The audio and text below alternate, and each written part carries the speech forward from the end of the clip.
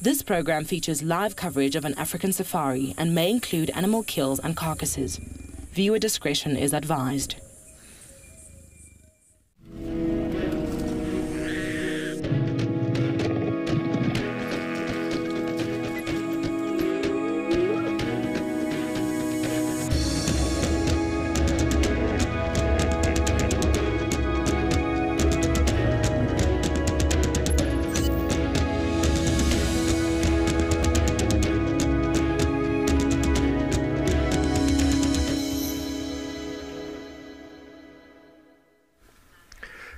Afternoon, good afternoon, everybody. Happy Sunday afternoon. Welcome aboard the Sunset Safari on this Easter Sunday here in Djuma Private Game Reserve, where it's a lovely clear sky out there, although we had a little bit of rain after drive and on drive this morning. Hello, my name is Steve, joined by BK on camera, and we're out and about in the thick of it this afternoon to find apparently some chocolate. BK, you keen? I'm keen? Yep. Okay, so both Cedric and myself are going to be given clues. But first, before we jump into that, don't forget we are live and interactive, and your questions and comments are valuable to us. Send them through using the app or the website, YouTube chat stream, or all important hashtag on Twitter. Okay, so Cedric and I are going to be given some clues, and I believe it's going to be posted somewhere for you to see it. And excuse the language, but James Hendry was involved. From thence to this loftiest place doth my signal find warm embrace, thither into ancient serving room, and finally into sweet global bloom. Now, what on earth does that mean, everybody? I've been scratching my head. Some of you might think to yourselves, what did he just say? From me thence to this loftiest place doth my signal find warm embrace. Thither into ancient serving room and finally into sweet global boom. Now, all I can think about really is the fact that there's a high point and something puts signal into that high point or receives signal from that high point and then goes into some form of room and then sends it out to you, the audience. So I feel like it's got something to do with one of our masts. Gary mast. We're going to go check it out. BK, are you excited? Hmm? I don't know how many clues there are. I'm really keen to go and catch up on some lions and some buffalo. So we're going to try smash this um, Easter egg hunt as quick as we possibly can. Um, we have a bit of a head start on Cedric. He would be keen to get on his car very quickly to try catch us. But I mean, I might not even have a clue what I've just said to all of you. It's possible that I don't know what I'm talking about. Six clues. Okay. Well, I am the reigning Easter egg champion, by the way. Let's not let my ego not get to me. I won last year's Easter egg hunt, but uh, Tess and I did the clues for each other. Now James has done the clues, so I'm a little bit worried. I'm a little bit worried. Anyway, we're going to go to Gary Mast and see what we find there. It's a lofty place, there's signal, there's a serving room. I don't know. Giraffe Girl, let's do it. Let's do it. Now, please, everybody, if you can come up with better solutions for the answer that I've come up with, please do feel free to let me know. Sorry, BK, the camera just bounced a little bit there. That was uh, the bumpy road. I noticed the camera move as I looked at it. It was the force is strong with me this afternoon. oh, only the Star Wars fans out there will know what I just said. Who isn't a Star Wars fan though? Come on.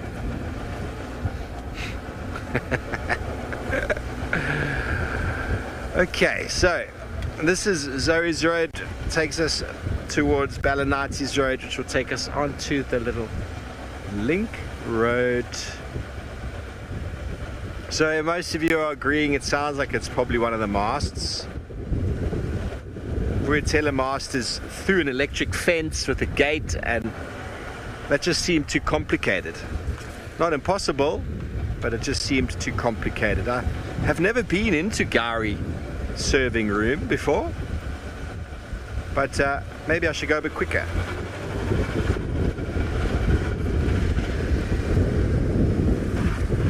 As I said, we want to try to smash this as quickly as we can, eh, BK? I'm really not going that fast, everybody. It just looks like it. It was just a moment of excitement there. A moment of excitement. I do enjoy chocolate. I hope it's good chocolate. James, good chocolate? I don't know if James is watching or if he can hear me.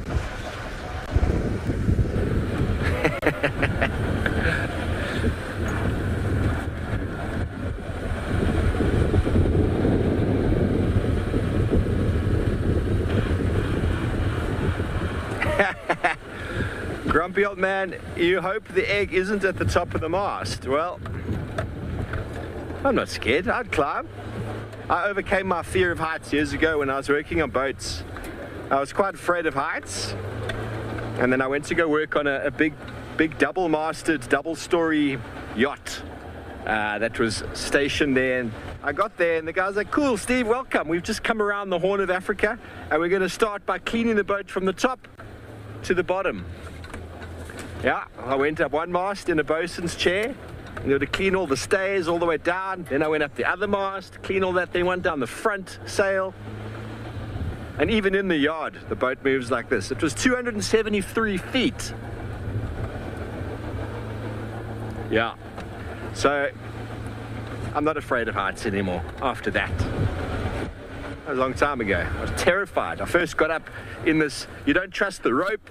You're holding there, you got a bucket of hot water, uh, got a power hose, and every time the water gets too dirty, you got to lower it down, and the rope gets pulled like this. When I went up, I was holding on for dear life for about half an hour, and then white knuckling until eventually you start to trust the rope, and then I started having some fun. Yeah, it was in Mallorca, Palma del Mallorca. A very young Steve back then. Okay, so we're approaching Gary Mast as we speak.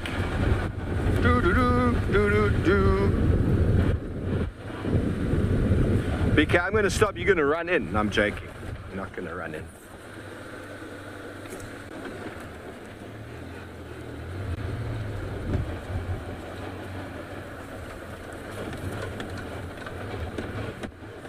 I'm going to have to figure out where they would do it here. Have you ever been in here? You have. Can I park like this? So welcome to Gary Mast, everybody. It's not very exciting.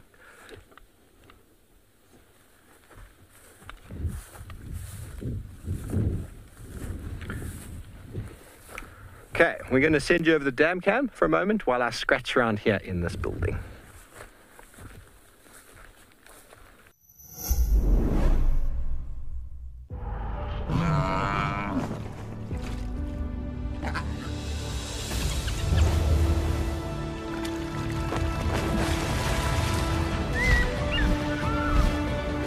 Experience captivating wildlife documentaries showcasing incredible animal behavior for free by visiting lionmountain.tv or downloading the app, accessible on both Apple and Android platforms.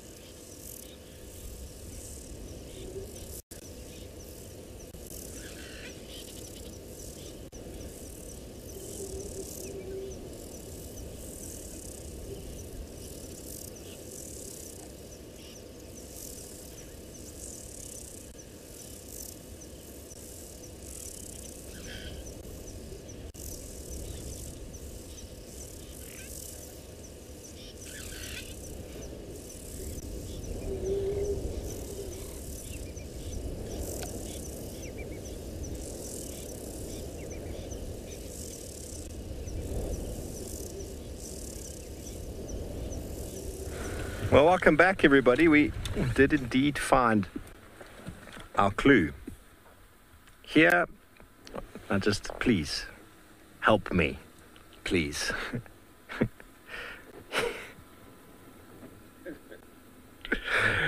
Here is a cavity where oft named mobile artichoke arrives at Froggy Pond.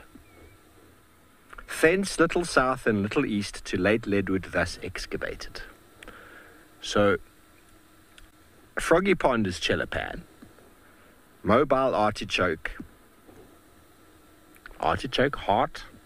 Is that a mobile moving hyena? Hyen hyena, the heart, the hyena? And then from there, maybe we'll find a leadwood that has been excavated, but it's dead, a late leadwood. Let's give it a try, shall we? Let's go to Chelapan and see what we can find.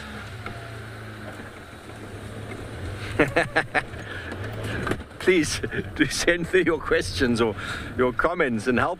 The, there was no chocolate there, everybody. There's obviously only going to be chocolate at the end. Not even a little teaser. Not even a little teaser. You help us, everyone, and we will go find lions and buffalo after. Help us, help you.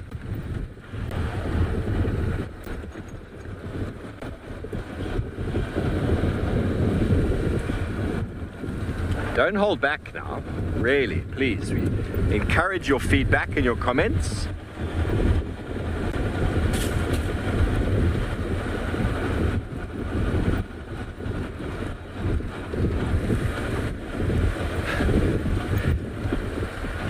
Here is a cavity where oft named mobile artichoke arrives at Froggy Pond. Thence little south and little east to late Leadwood thus excavated. Okay, with that in mind, let's send you over to Cedric to say good afternoon.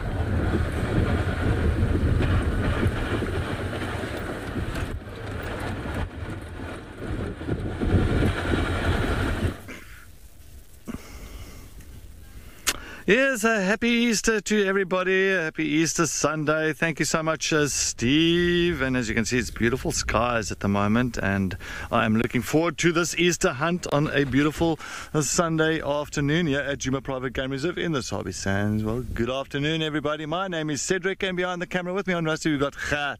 All right, so I've got my first clue. All right, so my first clue is listen properly. All right, yeah, it is. And it is quite high English, this one, but uh, I can imagine this is uh, only JMO's. Okay, this old dendro, dendrologist, dendrologist delight. So, uh, dendrologist, uh, dendrologist is pretty much a person that studies trees and wood. Stands alone and without plight. For no mokoro here will float. Her Okavango cousins cannot so gloat. Hmm. So, when I say stand alone and without plight, stand alone. And we've only got one tree that really stands out here by itself, and uh, we don't really have another one of its kind around in this area. And uh, mm, Okavango cousins cannot so gloat. So there he's got cousins, the same tree that's got cousins up there in uh, Botswana. And uh, that must be a tree called the sausage tree. Sausage tree? Sausage tree. And that's just down there, it's by itself. But let's go and take a look. Let's see. All right, that's my first one. Let's go. Go, go, go. All right, let's see. Let's see if we can get that. So it's just down here, the sausage tree.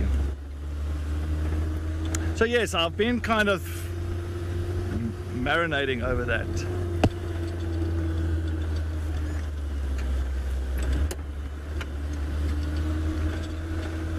Pula, yes, uh, excellent safari. We will have one. Thank you so much, and a happy Easter to you too, Pula. Alrighty then, let's get down to the sausage tree. So the sausage tree is just down here. And that is like the only one around here. I can't think of another sausage tree in this area except this one here on Philemon's Dip. And uh,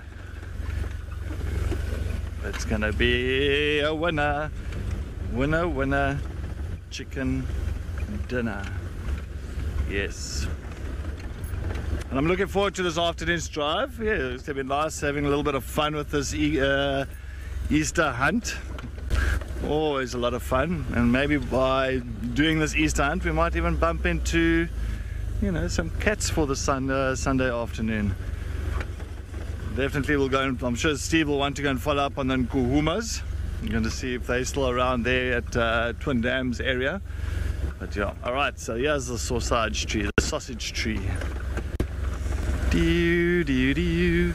Now I have to go look for a a, a, a clue there. Hey, I'm, I need to go look for a clue. All right.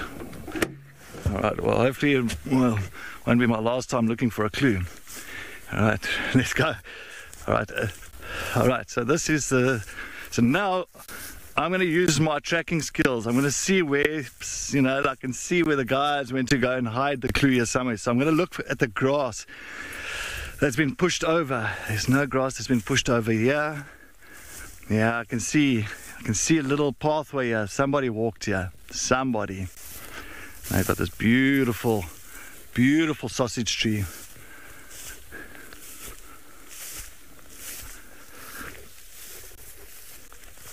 All right. Hopefully going didn't go hide it right at over there. ah.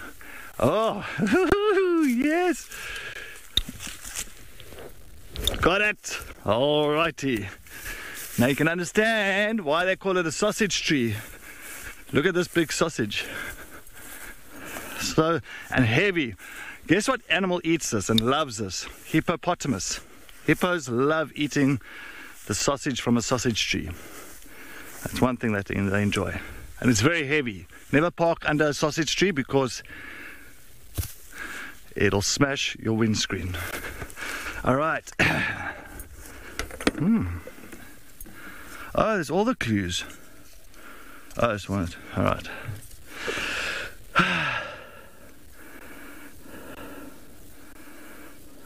All right, this one is going to fruiting gracious plant. Did you know you gave ours Sobre?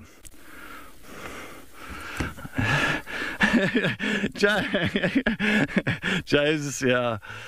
To the to the uh, to the descendants of Daniel's tormentors who lived so far away.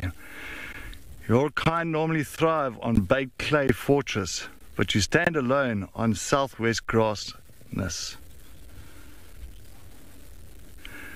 No idea. if there was a blank look, I think that was it. I, am totally taken back. Fruiting gracious plant. Please, if you if you know this, uh, if you got this, I'll read it again. Fruiting gracious plant. Did you know you gave us Sobre? To the descendants of Daniel's tormentors, to the descendants of Daniel's tormentors who lived so far away. Your kind normally thrive on baked clay fortress, but you stand alone on southwest grassness.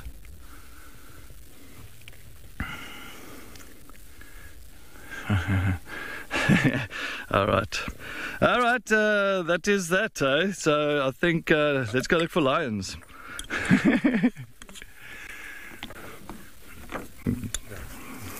oh, I was supposed to take just the one. Oh. Marley, they are very hectic. Sorry, I was only supposed to take the one. Maybe I must leave a present in here for Steve.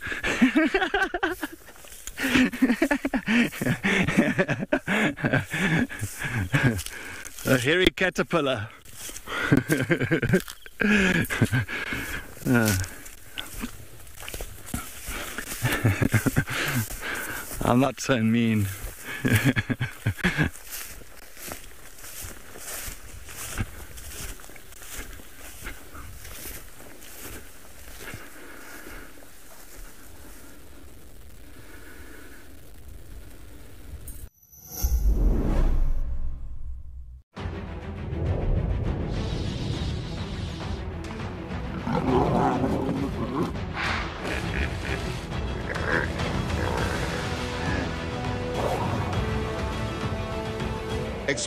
Captivating wildlife documentaries showcasing incredible animal behavior for free by visiting lionmountain.tv, or downloading the app.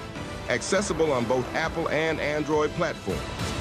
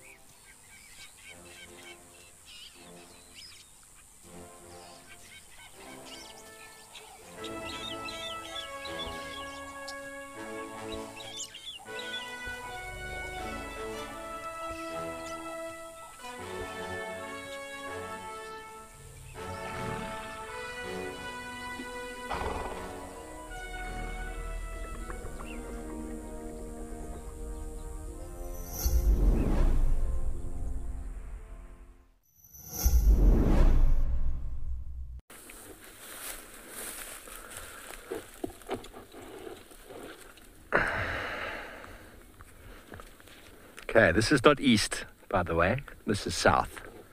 And anyway. That doesn't make sense because both of these inside here are the same. I checked now. but I'll only take one and leave the other one there. Maybe the objective of James was to send us on a wild goose chase so that we're not chasing the same clue. A home for Isoptera long departed now stands vacant, dilapidated. Donna Juma here did birth, her legacy in the southeast earth. That is Gwen's den. That is Gwen's den on the southern boundary. I'm almost certain it is the den that James Hendry himself got stuck in with the with the, the rover. I'm guessing anyway. Donna Juma. Would that not be like the original Juma clan leader, everybody? Makes sense, right? And Isoptera is uh, termites. A home for Isoptera long departed, so it's dead termite mound. Stands vacant and dilapidated. Old termite mound. Donna Juma here did birth. Gwen's den.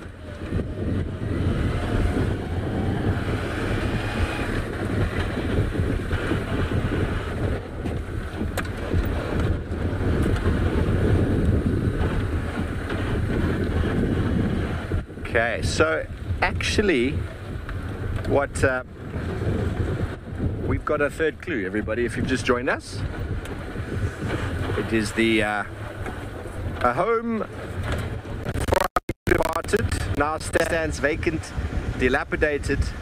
Donna Juma here at birth, her legacy in the southeast earth. So I'm pretty sure that's Gwen's den on the southern boundary. Pretty sure.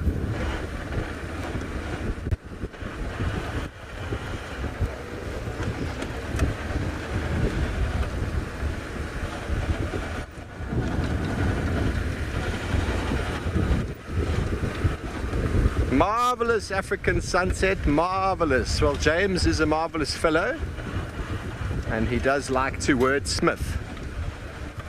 So I think the quickest way is to go straight to Gowrie Main and then there. Maybe we'll see some lions along the way. Well, if we we hit Twin Dams and lions are hunting buffalo, well, we possibly might stop hunting eggs. I don't know. Maybe we will. The road What can we do? What do we do, BK? Okay, well our signal's dipping, so we're gonna link you to Cedric in a moment, and then we're gonna go south.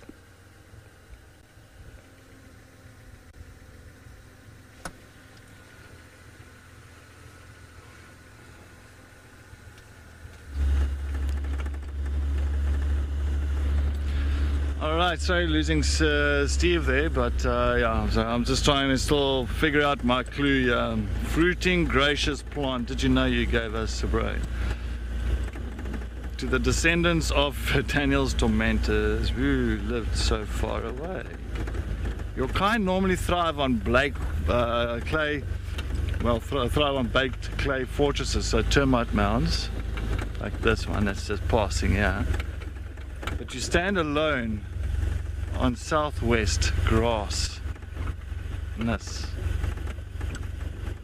Southwest.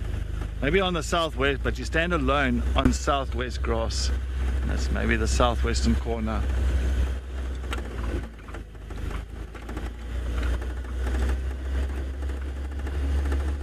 That's exactly. Giraffe girl I think so.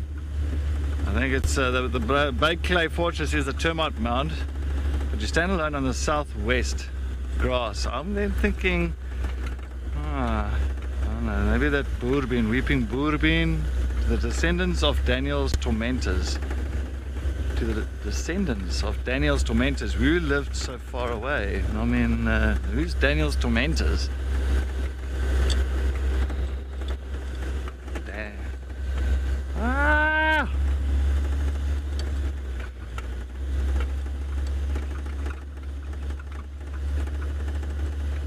Putin crashes. I don't know.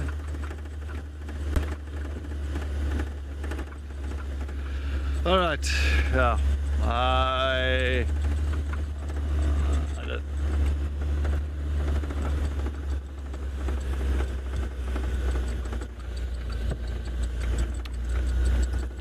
out Daniel's tormentors who lived so far away. ah, so yes, uh, that's a lion. All right, so lion to the descendants of Daniel. Ah, okay, so that might be the grasslands, maybe that Nkuhuma tree. Think about Nkuhuma tree. Nkuhuma's got the name because of that tree there. And uh, it's just, uh, you find them normally close to a Bake Clay Fortress, yeah. It, stands alone on the southwest grasslands there. So that's the southwest corner, it's grasslands there. It's a lion tree, Nkuhuma tree, known as a, a brown ivory as well. Brown ivory, so maybe a brown ivory. I like that one. Thank you so much uh, for that uh, one about uh, Daniel's descendants or uh, Daniel's tormentors. Ah, I think that could have been uh, the one. Let's go. yeah, let's let's go. Let's, uh, so we're right here. So it's right this side. Grasslands. Yeah. I think we've got it. We've got number two. Steve, we're coming for you.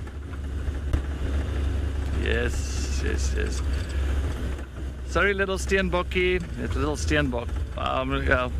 Don't run. Stay. All right. Don't worry. All right, it's gone. He just ran away. Okay, Nguma tree. Daniel's descending there. Hmm. That was clever. Uh, this is definitely a, a, a James Henry kind of uh, mentality thing. This because you can just just see it's all. Right, yeah, that's James. It's just it just says James all over. Oh, there's a whole lot of kudus here. Sorry, kudus. Yeah, we're just gonna come a little bit past you. Yeah, don't worry. We're just gonna say hello. Beautiful male kudu. But I, yeah. All right, let's sorry.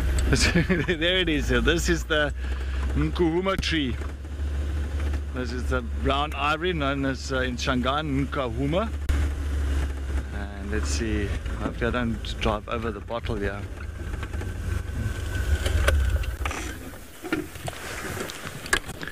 It's yep, they tormenting me at the moment. All right, let's see.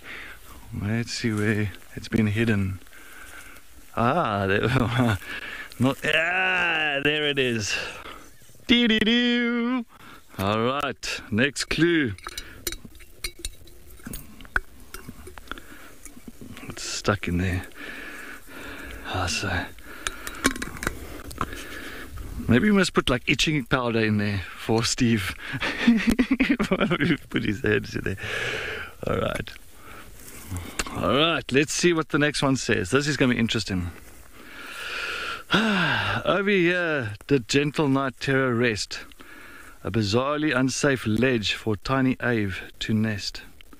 Over here, did Gentle Night Terror rest. Ah, it is only one thing. I'm sure it's a wigs. Let's see. A bizarrely unsafe ledge for tiny Ave to nest. Yeah, must be in the Moati. I'm sure it must be the wigs. It's the wigs. It's the spotted eagle owls. Let's go. Spotted eagle owls. That's it. We have to go to now the Molawati. Let's see if we can get there. What do you think, Kat? Over here did Gentle Night Terrorist. Over here did uh, Gentle Night Terrorist. A bizarrely unsafe ledge for the tiny Ave to nest, yeah. So yeah, to me it sounds like the wigs. That's the wigs. On we go. All right, let's uh, get to the wigs, and while we get there, let's head over to Steve to see if he's come right with his next clue.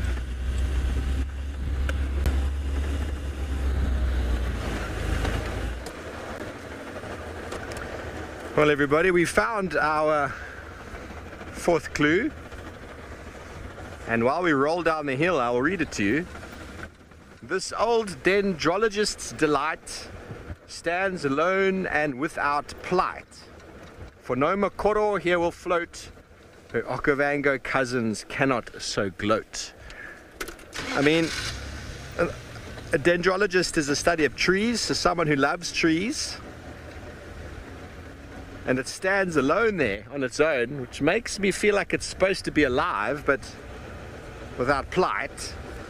And no more Mokoro here will float. So it sounds like it's a leadwood tree because leadwoods are heavy. You wouldn't make, you good luck making a, a Mokoro is a raft really. It's a little canoe. And her Okavango cousins cannot so gloat. Ah. It, I don't know. I don't know. I'm gonna go check this lead, this dead leadwood tree just over here. That's a guess. Oh, we did see lions on our way here, by the way, lying up in the shade. We'll be going to them shortly. This is clue number four. So once we've done four, we've got five, and then we've got chocolate. BK? Chocolate? Okay, Leadwood Road is coming up. What do you think, everybody? Stands alone without plight. Essentially means it should be a, should be alive, right? But um, most of the wood we have out here will float, but a leadwood will not float. Leadwoods are, are heavy, they're dense, they're heavy. And it's very close to where we are. So, I don't know, would James be that cheeky? James is very cheeky. Let's have a look. Leadwood trees right over here.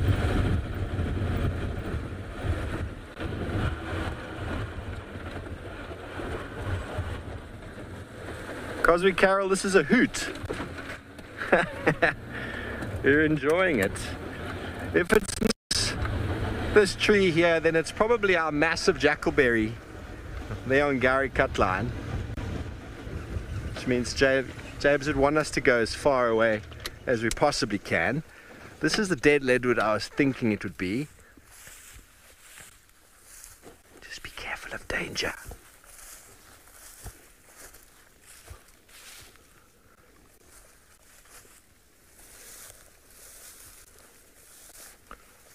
No, I don't think it's this one.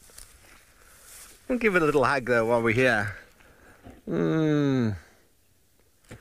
That's right. With, eh?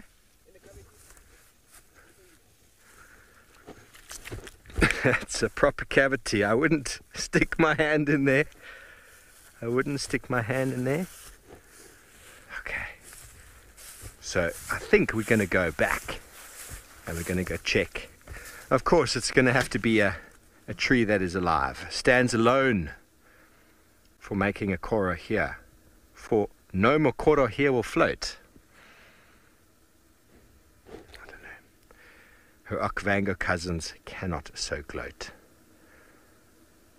Maybe because it's on Gowrie and there's a drainage line there with no water, so it wouldn't float because no water. Hey, help us out, everybody. We are a little bit stumped. Excuse the pun.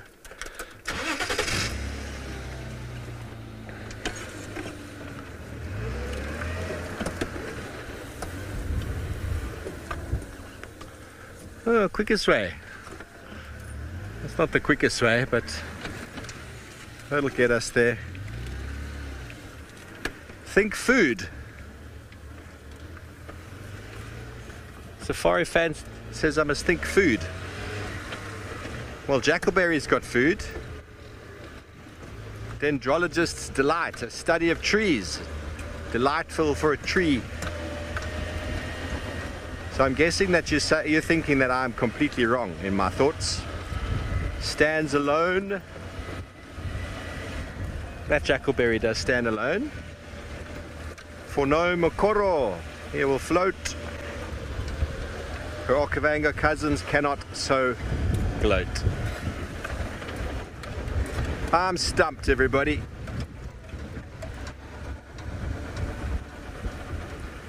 Jamie, yeah, I know.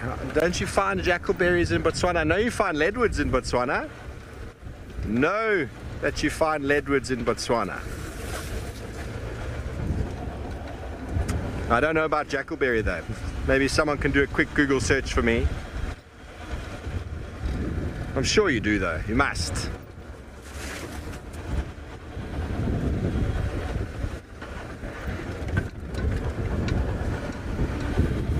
Stumped. We are stumped.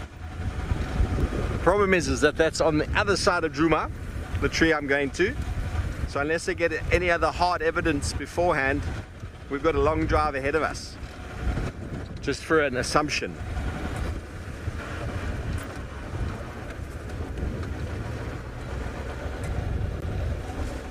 Food when it comes to the name.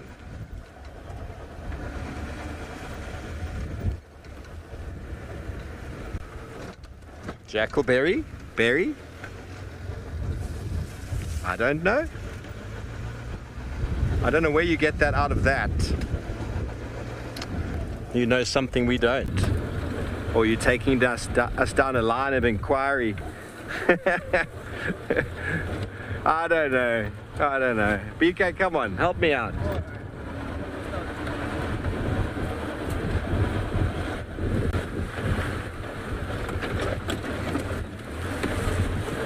Think food. I don't know what, what that's supposed to mean. I don't know how we get food out of that.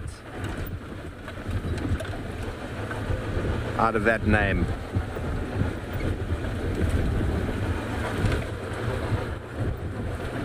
Oh well. We shall just drive along and maybe it will pop up in our heads.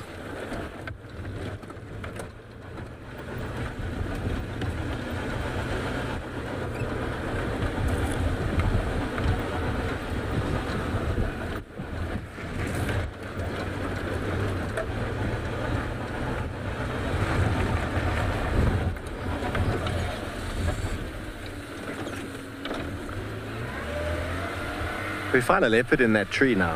That's going to be the end of our treasure hunt. I thought I saw a tail. Did I see a tail?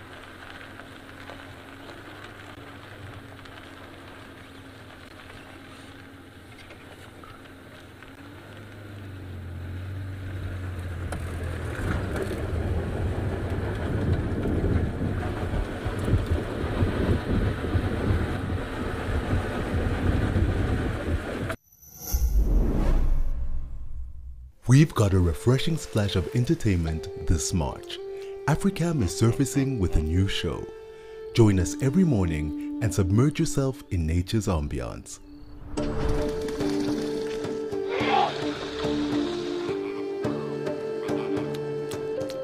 Watch it live and transport yourself to the finest watering holes across Africa. Wild Earth, connecting with nature.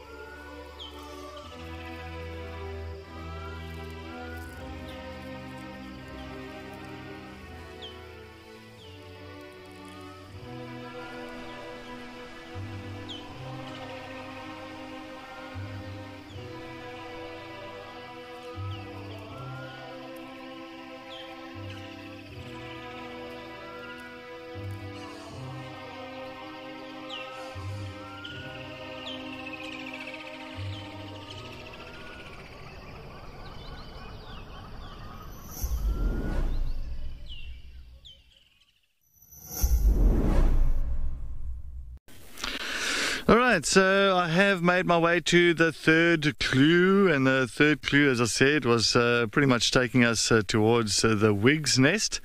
And uh, here we are. Ta-da! Yeah, in the Molawati drainage line, and this is the where the Wigs, those two spotted eagle owls, they like to pretty much nest in here. And the only thing that's nesting in here at the moment is a little bottle with a clue inside there. So let's grab that. Let's grab it. To see if Steve's been here already. There's, not, there's still two. he hasn't been yet because there's still two. So I'll have to leave this one for him. There we go, Steve. Oh, we should have brought that rubber snake with. we should have put that rubber snake just there. All right, so, so what's uh, what it says here? From me thence to this loftiest place. Doth my signal find warmth embrace? Thither into ancient serving room and finally into sweet global bloom. Okay I'll, I'll listen properly. I'll read it one more. So please help me on this one. From me thence to this loftiest place doth my signal find warmth embrace the uh, thither into ancient serving room and finally into sweet global bloom. From me thence to this loftiest place doth my signal find warmth embrace. Thither into ancient serving room. Oh those people they are relentless relentless. All right. Thither into ancient serving room and finally into sweet global bloom. Well, yes, Steve. There goes Steve. Mm. Yeah. Ready? What do you think? Please let me know. Please let me know. This one is difficult. From me, thence to this loftiest place. To this loftiest place. Doth my signal find warm? Doth my signal, so signal, signal find warm embrace Either into ancient serving room, ancient serving room, and finally into sweet global bloom. Signal, find warmth, embrace. Signal must be signal for West, uh, Rusty and Wayne. Something to do with that, I'm sure.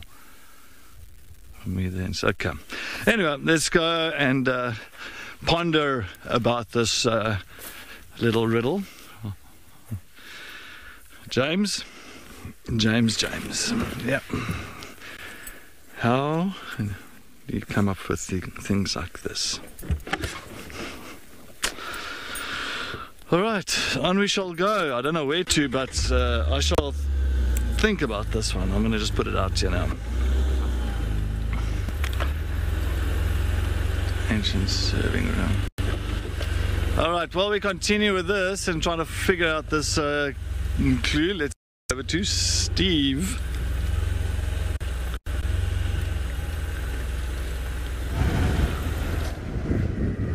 Thanks, Setters. I think we just saw you on our way past. We did a bit of a loop around. Obviously having no idea where to go.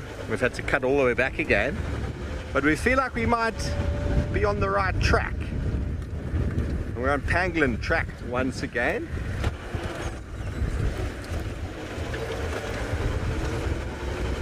That mobile artichoke was very clever.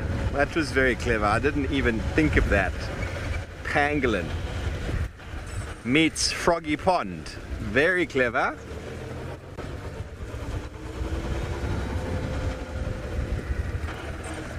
I think I got stumped because Gwen said something in my ear that Cedric's found his clue already and you're like, how? How did he? Then I got very confused and disheartened for a moment. But we stayed the course and uh, we found our dead leadwood. Now we're hoping that the one and only sausage tree on Djuma has got something for us. BK, what do you reckon?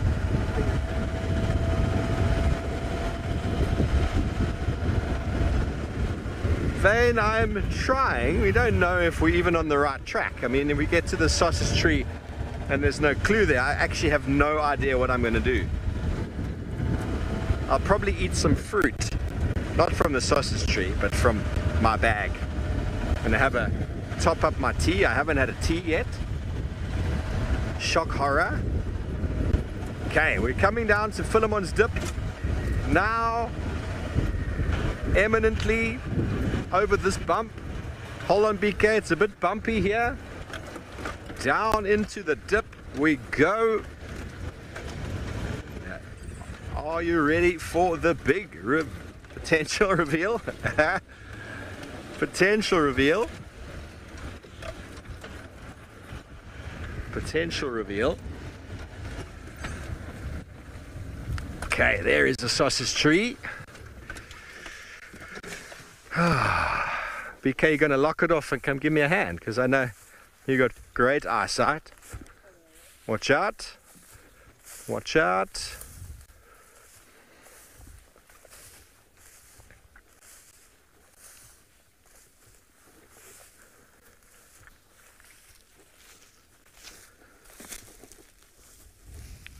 a sausage.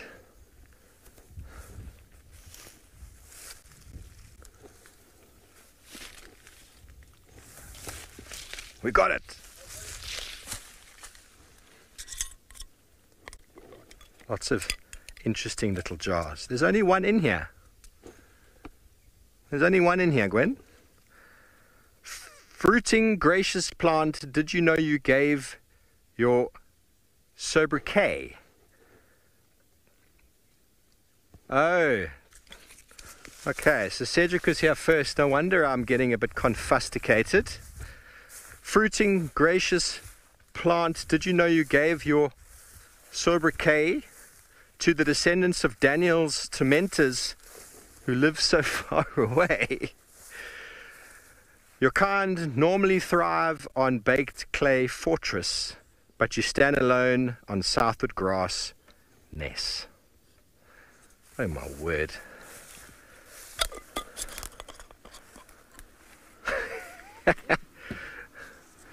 Shall we try that again? Fruiting gracious plant, did you know you gave your sobriquet? S O B R I Q E T. I'm guessing it's sobriquet, sobriquet. To the descendants of Daniel's tormentors who lived so far away. Your kind normally thrive on baked clay fortress, but you stand alone on southwest grass ness. Okay, so this is a tree that lives on baked clay normally, but this one's standing alone on the southwest grassy area. You're going to just stay with me, Gwyn, for this whole time, looking crazily awkward and weird and not having a clue what I'm thinking or doing. Nice.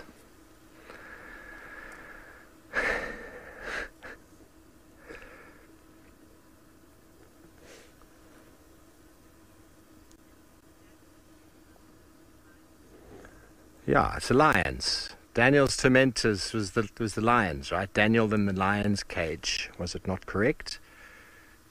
But the descendants of Daniel's tormentors, who lived so far away. Was it not Daniel's in the lion's cave? Or that makes sense to me. But the de- to the descendants of Daniel's tormentors. Okay, so there's lions. Who lived so far away? Your kind normally thrive on baked clay fortress. But you stand alone on a southwest grass nest.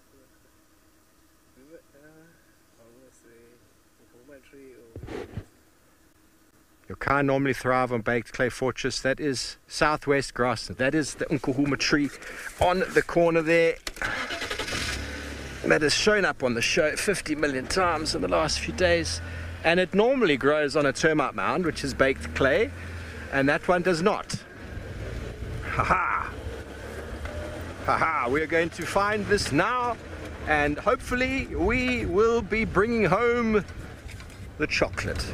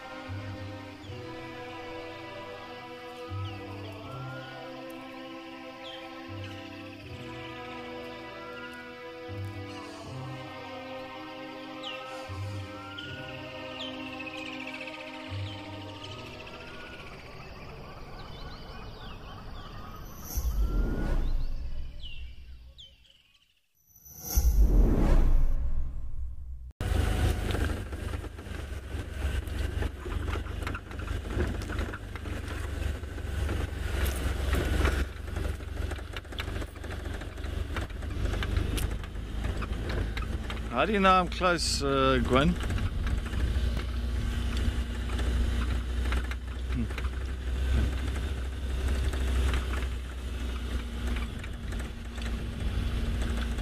Oh, my thought process, yeah.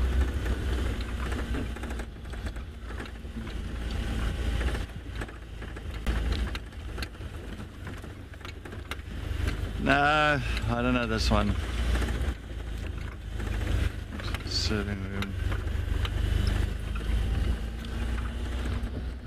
I think maybe for this for this clue, I'm just going to be driving around and hoping for a bottle to appear somewhere.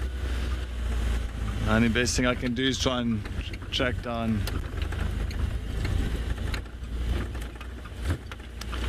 Yeah, it's uh, picky, picky. Um, yeah, that's going to be Gary Moss. That's far that side. Right, so maybe it's lofted, yeah, maybe because it says doth my single find warmth embrace. Ah, okay. All right, so maybe Vuatelamos. Find into sweet global global bloom. Yeah, maybe maybe Vuatelamos. Thanks, Paki. Let's see. Let's go there.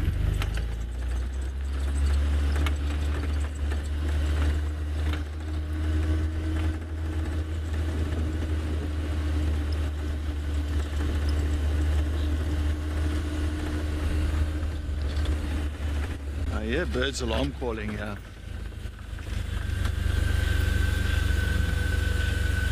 Sorry, I just hear birds alarm calling.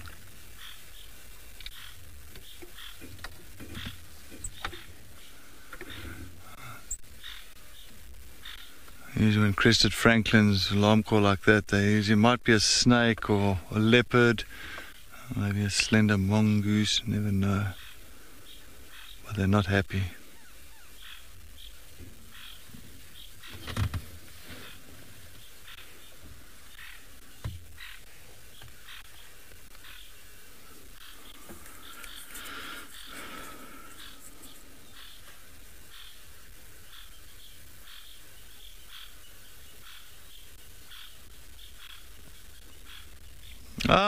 Like Africans, uh, name of the dam that's got a tall tower. Okay, like the Gowrie Mast. Well, then I'm completely in the uh, in the opposite side. Okay, well let's uh, get. We've got like uh, five thousand kilometers to cover here. Let's uh, see if we can cover this uh, distance. Hmm. All right, you ready? Hmm. I know something. Yeah, something this side.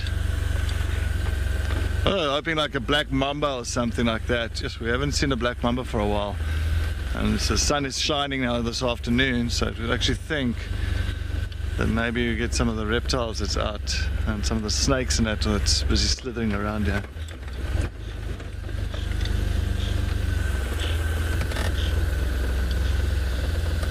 Hmm. We had the black mamba here just here the other day, just here. And one that was actually chasing the hare. That was right here. All right, Gowrie Mast, here we come.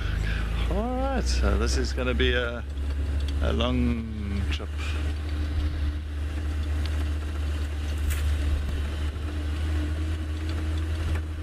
I don't know if we're still on, still live. When are you still there?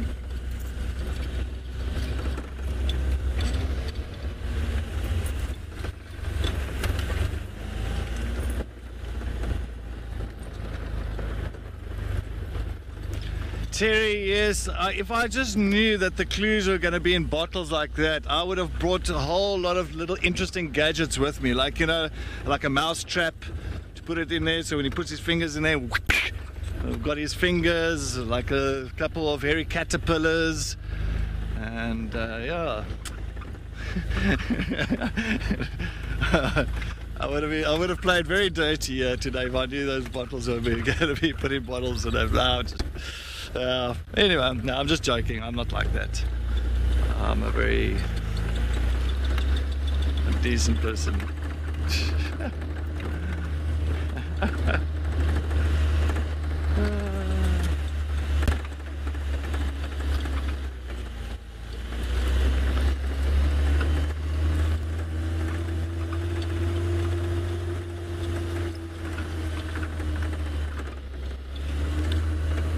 Okay, so Gowrie Most.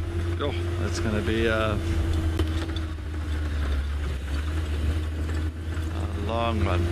Or it might even be mast. Might be either one. Gowrie or Vuyatela. Ancient serving room. Uh, might be Vuyatela mast. But anyway, well, we're going to head to that side, to that uh, mast. Let's go head over to Steve.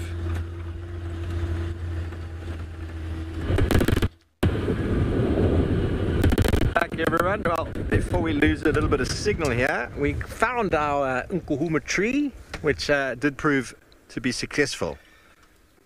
Over here did gentle night terror rest, a bizarrely unsafe ledge for tiny avi to nest. Now that makes sense to me that that is the the Wiggs residence, the giant eagle owl Wiggs residence. So I would lose signal if I go into the drainage line. So I'm going to approach the top, where I might also lose a little bit of signal, but it's not the same as going in. But we will bypass the lions now on our way. A little help. See you soon. BK and I are hopefully about to win this. But um, this is Clubus, which means that where we're going now is potentially the eggs or where we will find the eggs. I don't know. I don't know. I don't know. Oh, the lions are still there. Okay. I thought they were gone. No time for lions. We've got chocolate to find, BK. We'll be with you ladies shortly. Shortly. We are coming. Don't go anywhere. Don't go anywhere. Three, two adult lionesses, or two lionesses and one male. You've seen them all before. We shall be back with them momentarily. Now, if I go down there and in the river, you will lose me. So I'm going to attempt to do this from the top side. Just walk into that little crack of the owl nest. We haven't seen them there for some time, so don't feel like we'll be disturbing any owls.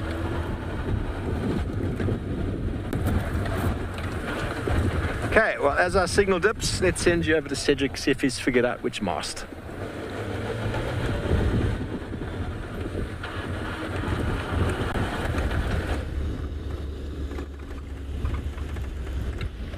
Thanks, Steve. All right, so I'm going to try and get to Gowrie Moss now, just to see if we can get there. we did pass Twin Dams, and uh, a little bit earlier on, while I was making my way to the Wigs, and uh, you know, it was two Nkuhuma females and uh, the Talamati male were both just resting there at the inflow. So I'm sure Steve will want to go there as soon as he gets his last uh, egg.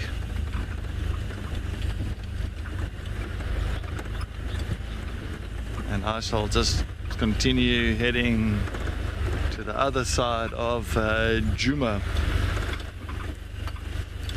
to go get my next clue. Gowrie Mast.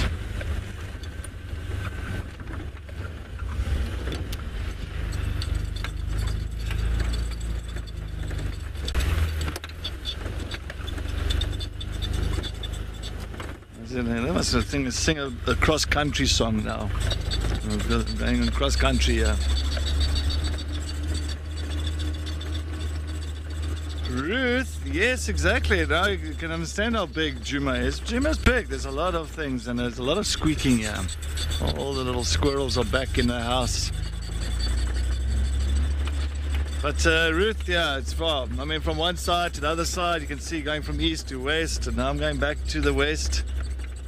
And I was actually going to go to the west this afternoon. I um, think I'm hoping for maybe tortoise pan or uh, tortoise pan and uh, Tiani. They are busy mating, and they were last seen at Safari Donga North. So that is just west uh, into Safari Arathusa, not too far from Djuma. And I was actually planning to rather go that side for this afternoon and see if we can get any luck with those two leopards. I can imagine seeing Tiani again. So Tiani was seen. I was actually asking the question this morning: was when last was Tiani seen, or was Tiani ever seen on Wild Earth? And uh, apparently, uh, Tristan saw Tiani. I think it was in 2019. I saw Tiani with uh, Hlaluko, and Hlaluko was still a cub. And I saw him in 2019 on Simon Beely.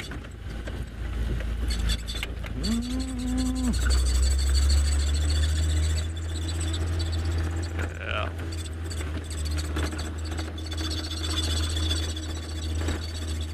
Uh, Rusty, Rusty needs uh, some uh,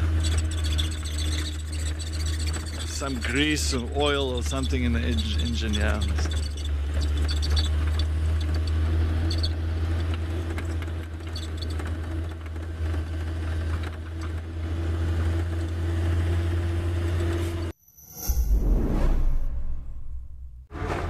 Out in the wild, life moves fast. To capture the action, you've got to be in the right spot at the wrong time. Now, incredible animal behavior, selected from amazing amateur and professional footage, to reveal the secret lives of animals in motion. This is raw nature, caught in the act.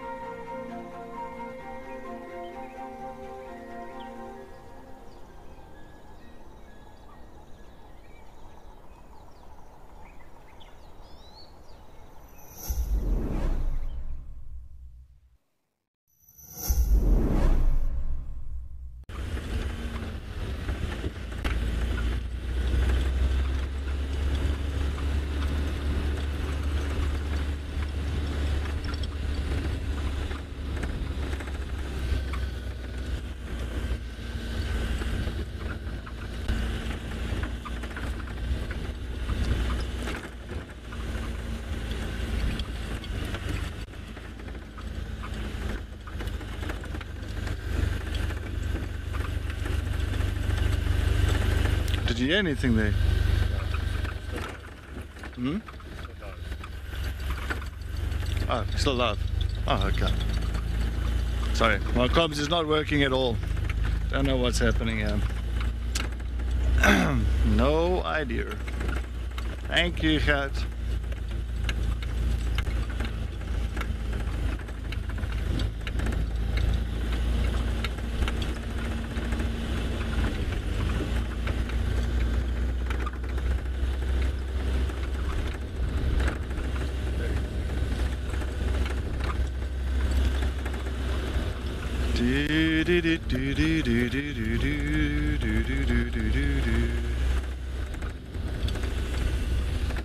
Do.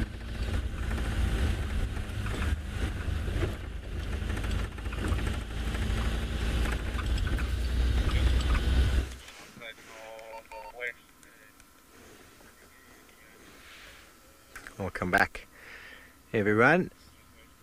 Well, we've had some success in tracking down the lions. This morning, how many did Cedric have? He had last night there were seven. I can't remember. But uh, we got two females here and one male. And the fact that we're with the lions, everybody, is um, probably because our last clue paid off. And we found some chocolate. But it's very cheeky because whoever put the chocolate there took an egg. Maybe there was an owl. Maybe it was an owl who did that, but someone broke open this and took an egg, which I think is very cheeky but understandable for the efforts. Thank you for an entertaining afternoon, James Hendry, and art in the field and the clues, of course. Well done, Brabike. We're going to be scoffing down chocolate for days. I'm only joking. Just this afternoon.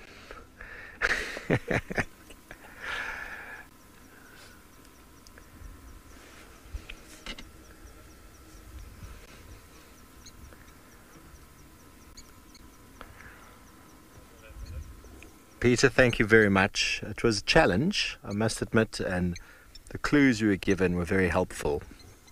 I think without those clues, we would have been scratching our head quite some, quite a lot, especially with the uh, sausage tree. Now, does anybody know how many lions were here this morning? I think there were severed last night. Uh, the buffalo are nowhere to be seen. On our way out of here earlier, we saw lots of tracks of the buffalo. They seem to have gone south. Lots and lots of them. Now, it's possible that uh, Chella's gone back to her den and or the lions decided to move off.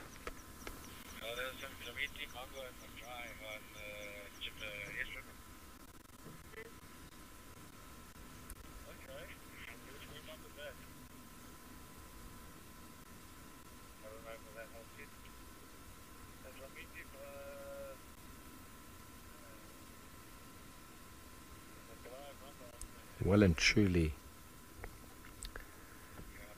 they're well and truly full a couple days ago, the lionesses, and they have digested.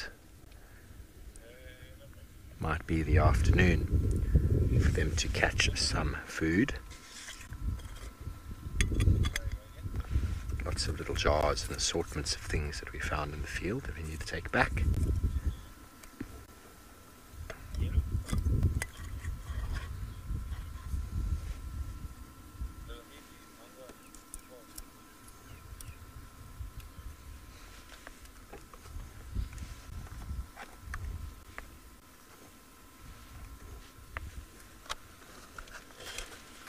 Girl, there were seven plus the Talamati male. Okay.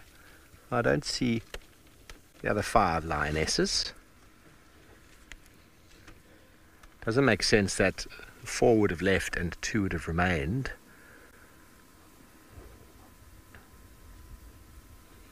Makes sense that Chella might have gone to go investigate cubs. Maybe these two are trying to make an impression on this male.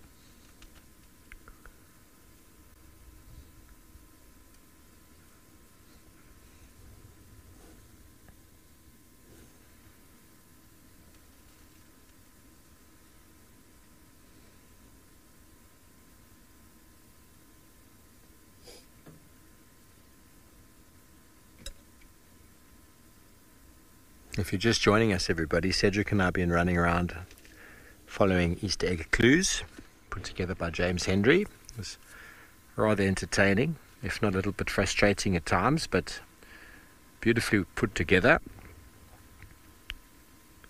And chocolate was at the end of the rainbow.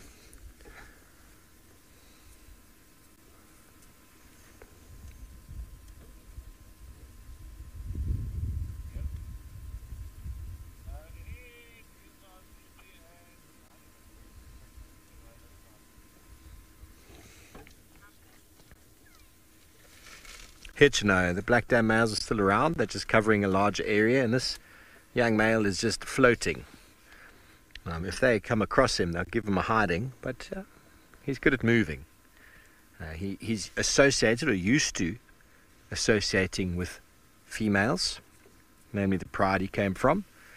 And so he's very good at following females and then picking up on the scraps, or at least dominating and taking more food than they do. So he'll do that until either they beat him or males beat him, or until he meets other young males that are of a similar caliber to him and are looking to establish a pride territory or a coalition.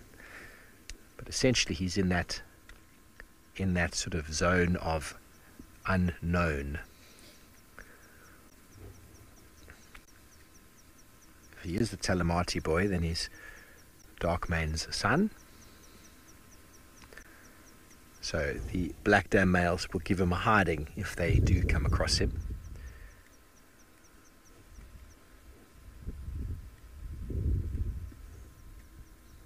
He'll learn and he'll move and he'll move until eventually he's big enough and has had enough scraps and joins one, two, three other boys. It's possible that that might happen, or it's possible he might become a big dominant male on his own and claim pride territory. That does happen, like with S8. But uh, joining a coalition or having other coalition members does make it more beneficial.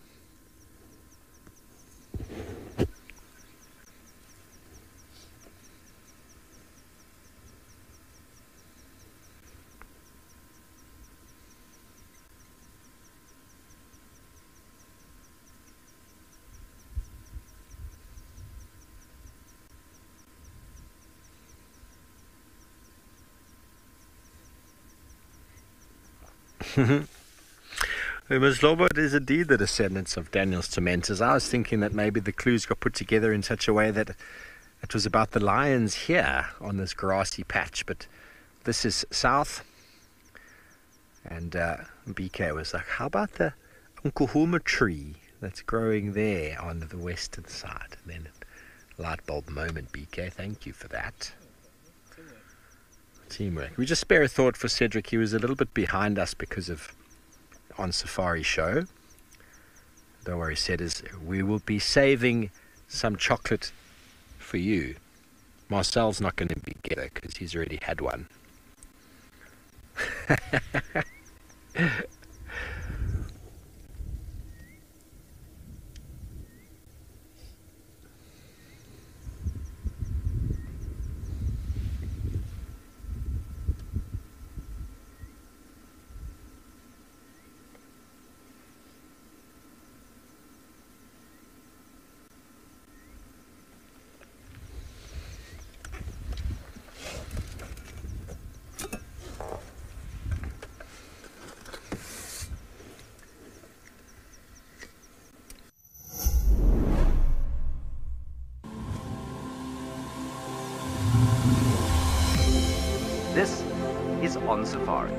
Now remember, this is live and interactive, so we'd love to hear from you.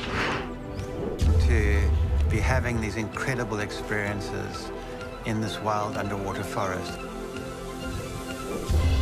It, it was just one of those things which I don't think I'll ever see again in my life. Thanks for joining us on our Sunrise Safari.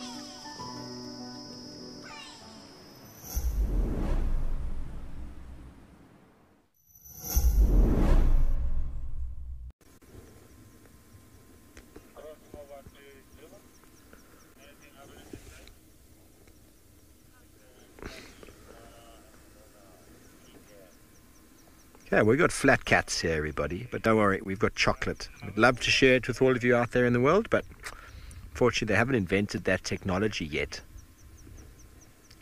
Haven't quite invented the technology of sharing things through the ether or through the TV screen. I've no doubt they will figure it out at some point.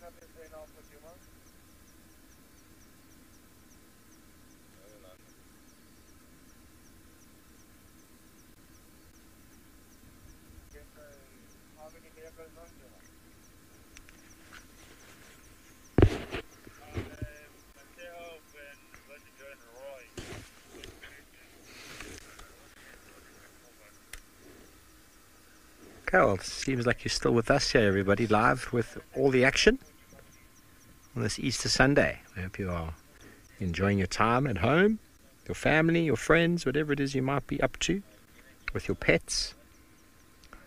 Tuning in. Please do send through any questions and comments you do have. Let us know how you're doing today.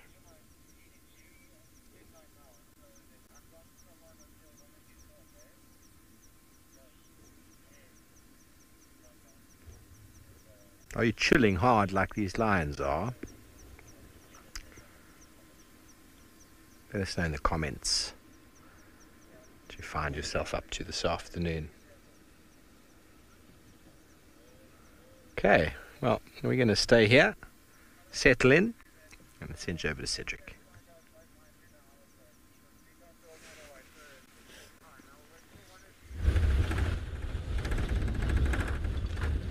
Thank you. Well done on that, Steve. And uh, yeah, you got some content there, at least. Um, I'm just um, ambling around. Let's see what else we can find.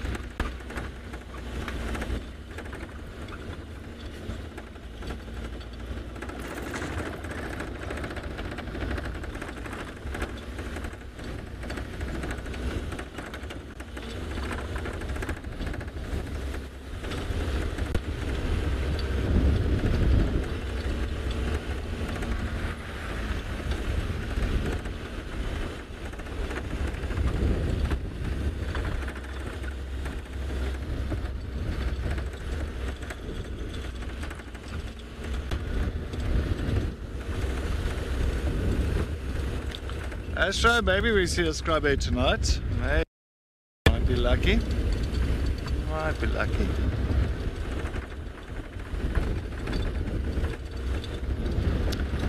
I think it's uh, just going to go a little bit further north. Going to go to Buffelshoek Dam, and uh, yeah, I'm just going to go sit there a bit and go take a look. Maybe see if we can find that crocodile around that side.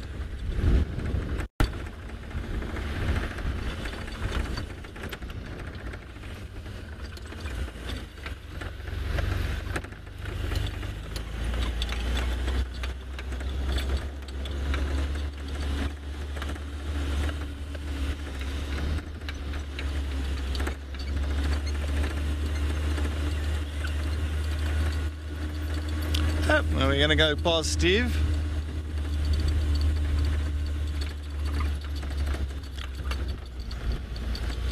Passing Steve with uh, the lions here. I'm gonna head over to, as I say, to Buffelshoek Dam side, so we're just gonna go past them here. Thanks, Cosmic Carol. Oh, I got the line, line's got in the head up. That's nice.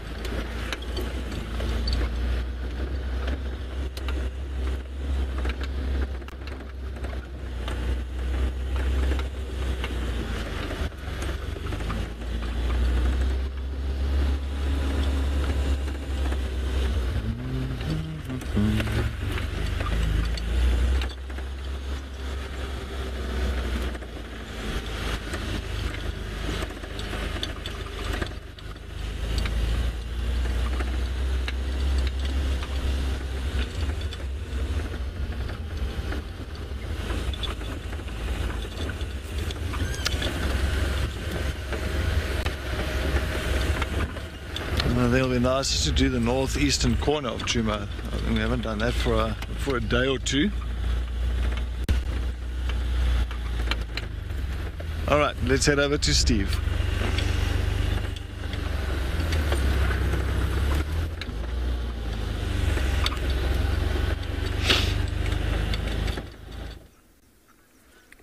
Well, welcome back, everybody. Not much has changed since you were last here. We just saw Cedric and Gert drive past.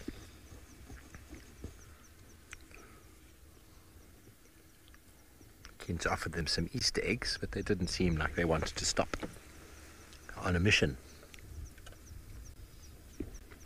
Very interested to know where the rest of these lions are. Whether they maybe followed the herd of buffalo.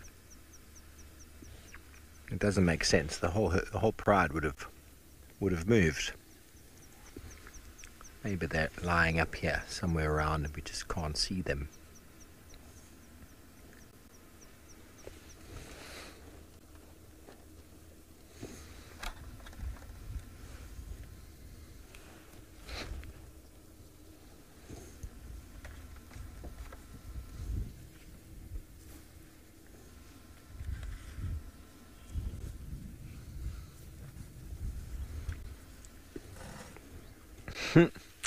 Judy, it's unlikely. I mean, pride does benefits in hunting as a unit, especially when it comes to hunting buffalo.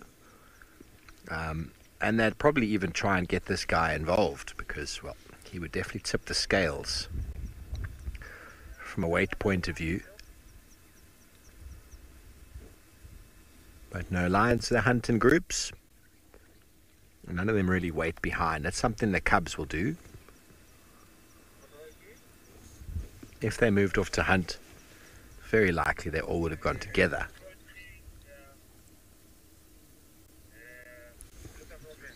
Guess maybe these two weren't keen.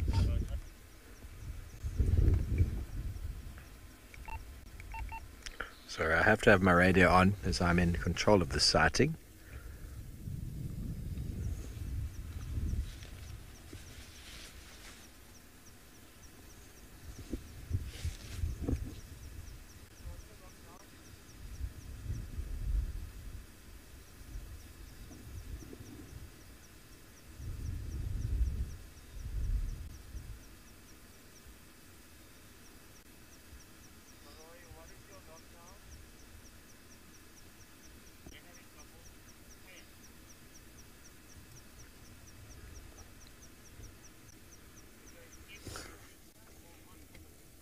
Rob, I spent time with uh, the Map- Mapogos right towards the end of their, their career. And there was one incident where I spent time with one of the males, and he was on a buffalo kill on his own, and he was keeping away 30 something hyena on his own. That was just remarkable to see.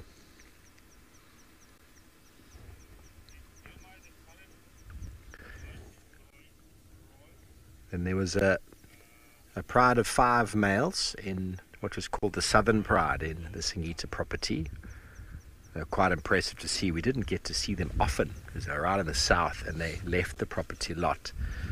But um, two males dominated the area I worked in there, and then they had nine young boys that came of age and They were just starting to sort of become mature when I left. And uh, just before I left, those five males caught one of those boys and murdered him. And that just scattered that group. I don't think, I don't know what happened to that group of males after that.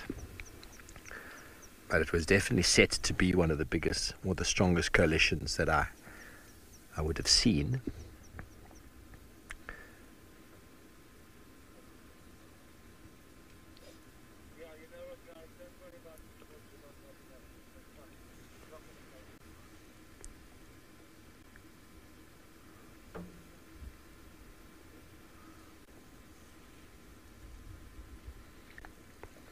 The Mapogos.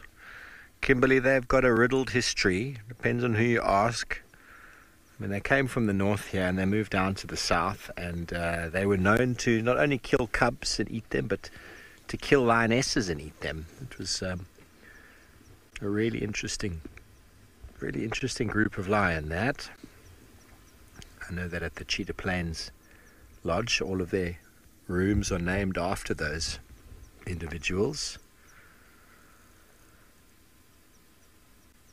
I mean, the Birmingham boys, when I got here, there were four of them, but two were always in the south, and then two were here. I never saw the four of them together. And we tend, you tend to find that a coalition of boys, there's always two that are more closely related than the others, and you'll find two or three breaking off, and one on its own, or two on their own, or like the Avocas, we had the, the three boys, and Blondie and Mohawk stuck together. Darkmane went on his own, but yet they're still called a coalition.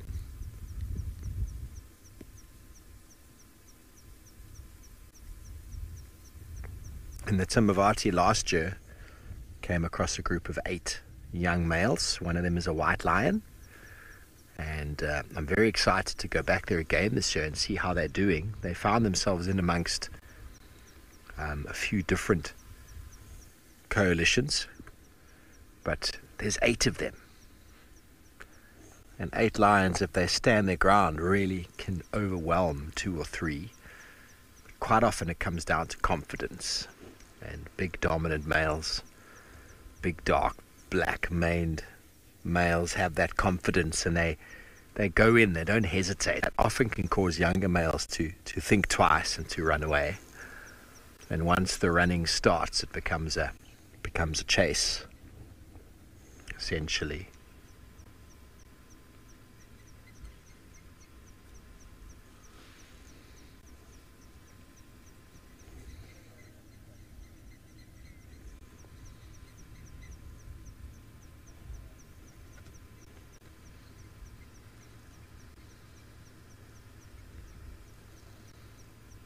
trying to think the coalition in the Mara with Scarface or Scar. He was in a little group, in a group of five, I think. I don't think I ever saw them together. They were a, an interesting accumulation of male lions. Uh, oh, Car's going to join us.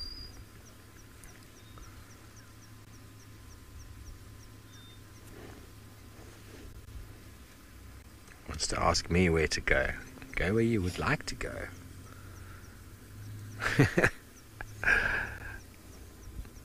it's nice that he asks us once he's already in frame, eh? Can I drive in front of your camera? Now I'm in your camera. It's a bit late now, I suppose. But let's have a look at this boy. BK is giving himself a lovely little hug. He was giving himself a lovely hug.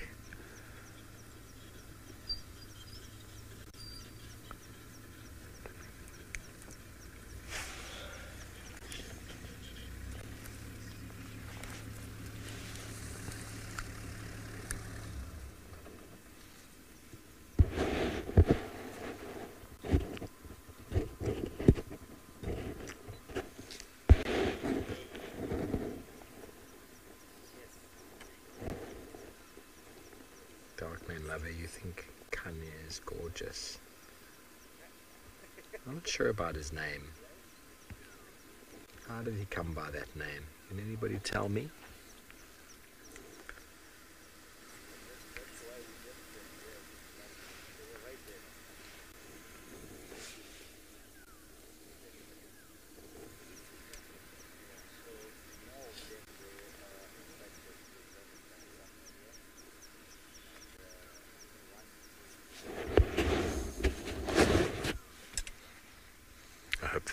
When I uh, have learned to start moving my hat when I want to use my binoculars, because otherwise you hear these funny sounds and we all wonder what's going on. And it's my binoculars and my microphone having a conversation.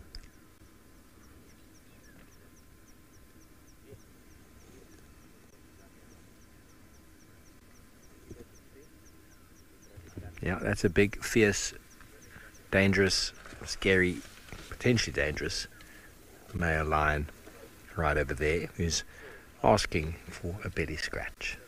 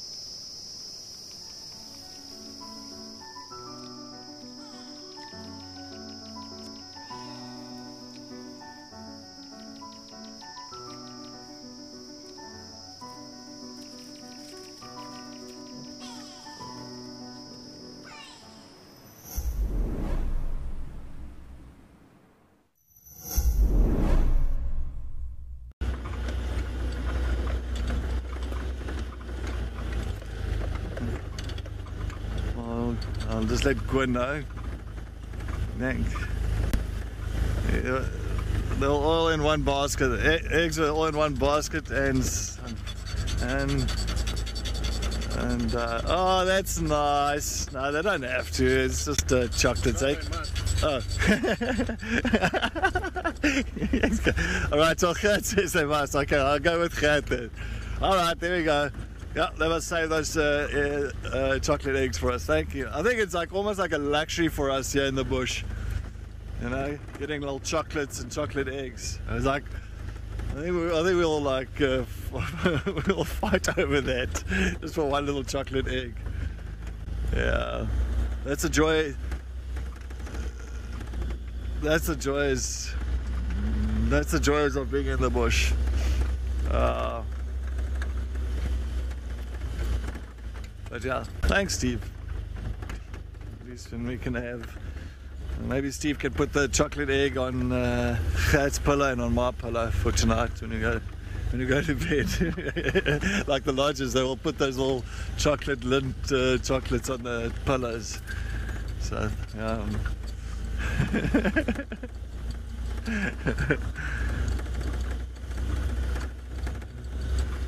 If he doesn't, I'll tell a monkey to leave him a present. I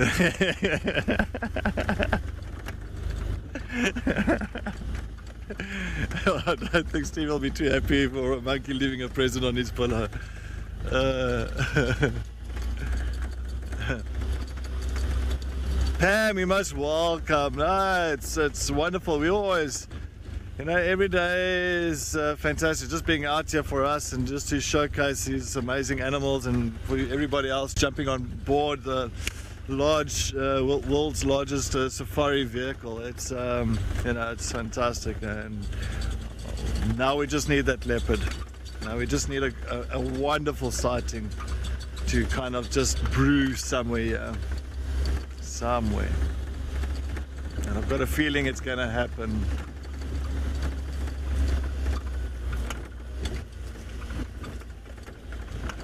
So, uh, update about uh, tortoise pan and uh, Tiani. So there's the two leopards, uh, tortoise pan, the male leopard, and Tiani, a female leopard. Uh, they are busy mating, and I thought they were coming east. They were coming towards Djuma this morning. But uh, I just spoke to one of the guides now. They've just stopped inside of Arathusa to a place called Magic Willie, and they stopped in that area. So I'll say, give and take, maybe a, a hundred meters, hundred meters, uh, hundred meters west of uh, Djuma. So maybe tomorrow morning, maybe tomorrow morning, we'll be lucky with those two. That'll be nice. Wednesday morning. Maybe Wednesday morning. just forgot as well now. Just remember, everybody. Um, so tomorrow's sunrise and sunset safari, and on Tuesday's sunrise safari. It's no, there's no live safari, but there is going to be amazing content that is going to be shown during those times. I exactly forgot. Yep. So we need a leopard now. A leopardo is uh, needed for this evening.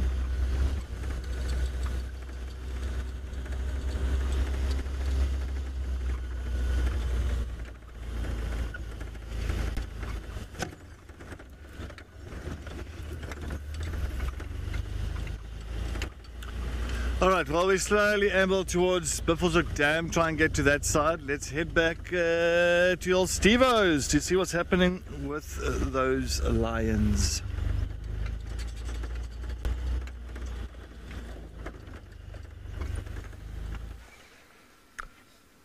Thanks, Cedric. We will definitely keep some Easter eggs. We haven't eaten all of them yet. And we are happy to share. Marcel's already taken his little tax, so unfortunately, Marcel, your Easter egg for the afternoon has been eaten. Thankfully, lions don't like Easter eggs, because I'd feel obliged to try share them with them, but uh, you think they'd enjoy one? Nah, they wouldn't. Hey?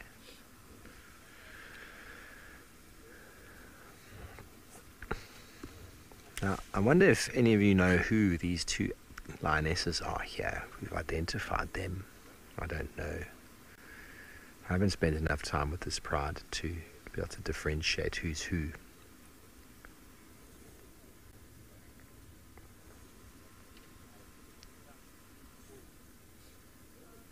There were seven this morning and last night, so where are they now?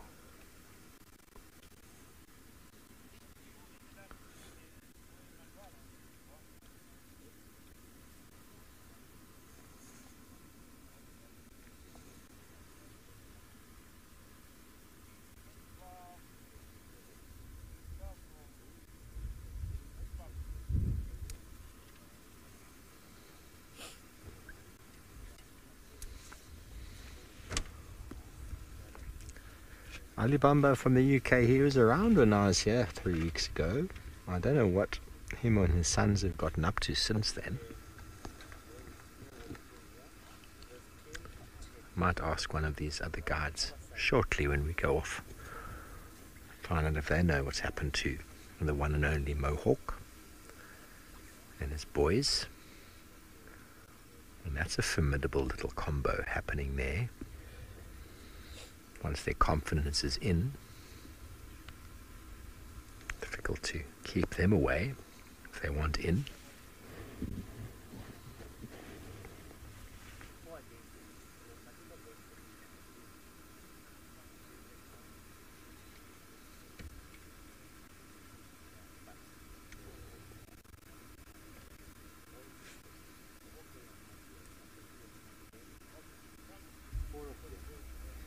You might hear some voices. We do have another couple vehicles here talking about the lions.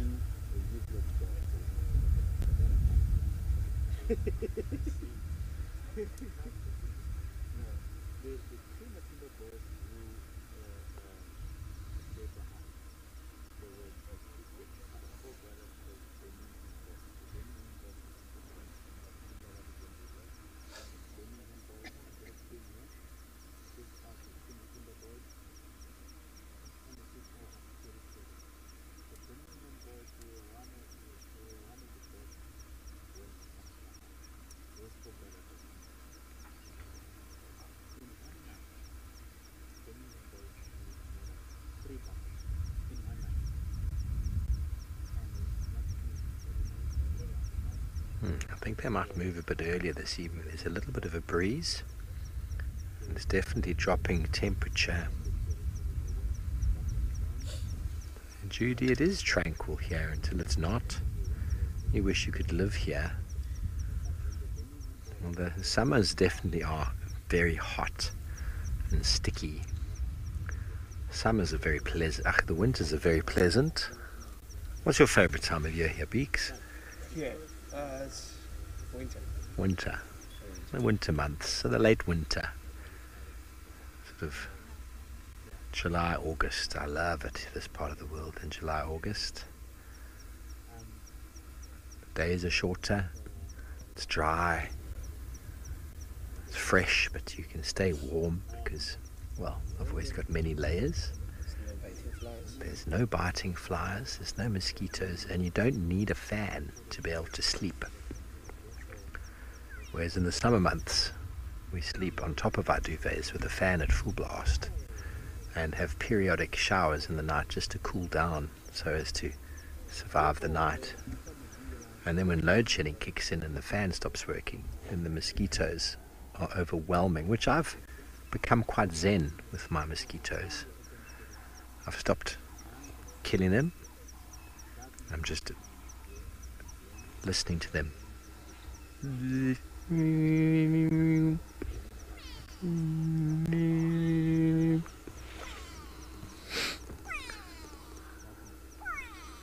meditate a lot and they used to annoy me and I've gotten to that point where it's like, okay, if you need to bite me, you're going to bite me. And for somehow, they've started leaving me alone.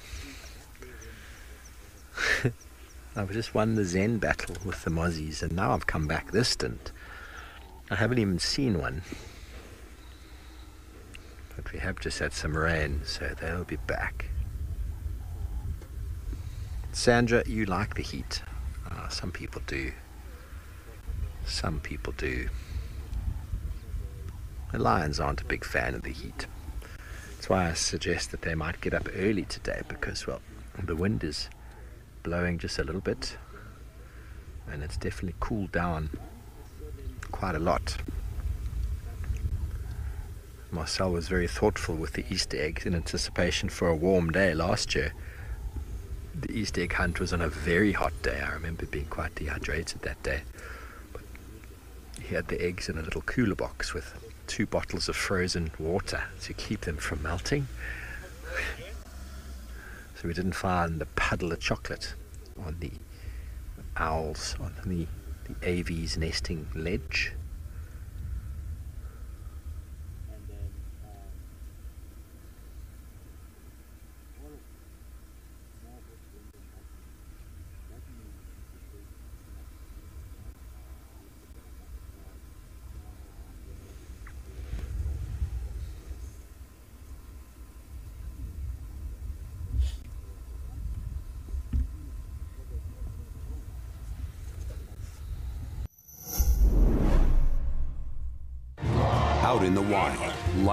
Moves fast.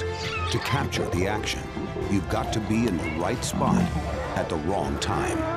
Now, incredible animal behavior selected from amazing amateur and professional footage to reveal the secret lives of animals in motion.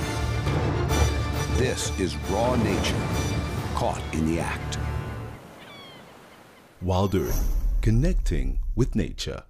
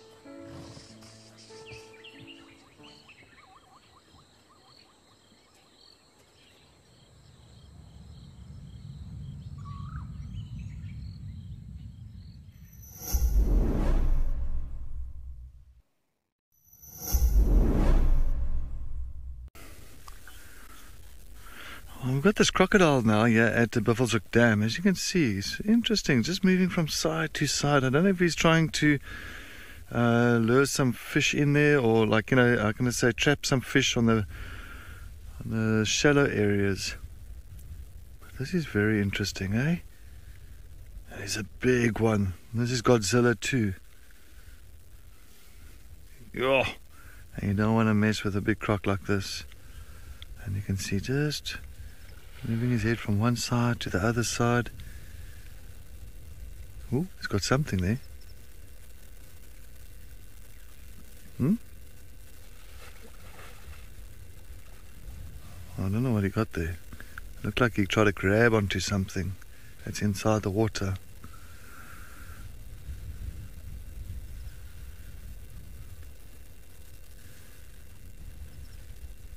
Very interesting, and it's amazing that uh, this crocodile has been spending so much time here. Spending so much time here at uh, Dam. And a little greenback heron in the background, just passing by.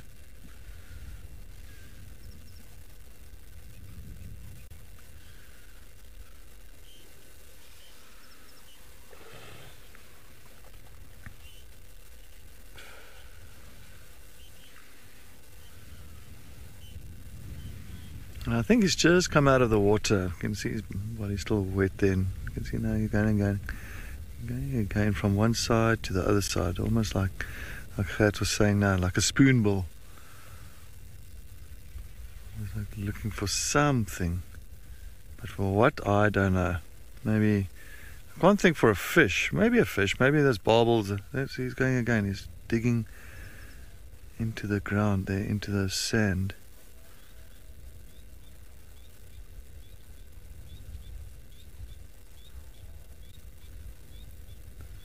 Very interesting this. The main diet is fish until they can grab something like impala or a little kudu or something like that. But you know, if there's nothing, they don't have any luck on that, then they will go for fish.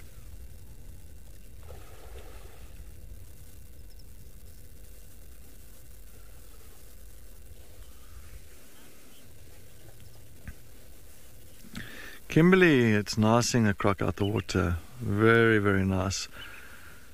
Especially, it's been quite a cool day for most of the day. Now, all of a sudden, a little, or the last bit of the afternoon, had a bit of sun.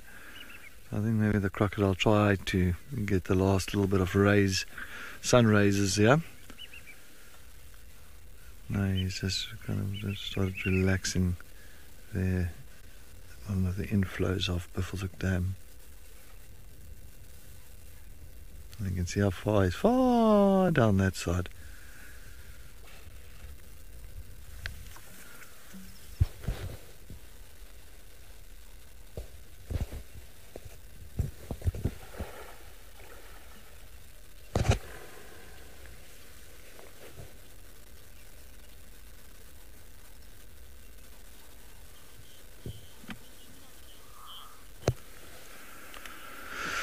Oh, yeah, well, if he's alone, he's not going to mate with anybody, or she. We don't even know it's a she or he. It's difficult to say with the crocodiles. You have to actually really kind of take a look and uh, uh, at the like under their tail, like the start of their tail. Then you can really pick up on a female or male. But uh, for for us to tell from this side, yeah, now there's no ways. There's absolutely no ways. And of course, if there's no mate around you, then it's not going to mate. But I think it's just maybe this crocodile's just stopping by here for a few days, and I won't be surprised in the next week or two it's going to be off again, looking for more of a like a, a more of a reliable water source around here. And usually something like Chitwa Dam. Chitwa Dam is always full, so you know there, or they'll go look for a, a big river, maybe head south. And I mean, crocodiles can move as well quite a huge distance at night. I remember years ago we found crocodile tracks coming from Londolozi there in the Manyeleti drainage line on the, uh, the northern side of Londolozi. And it came in, and the crocodile went all the way through the west to the eastern side of the northern Sabi Sands. And it ended up uh, close to Chitwa Dam, ended up in uh, Little Gowrie in one night. One night. It moved a huge distance.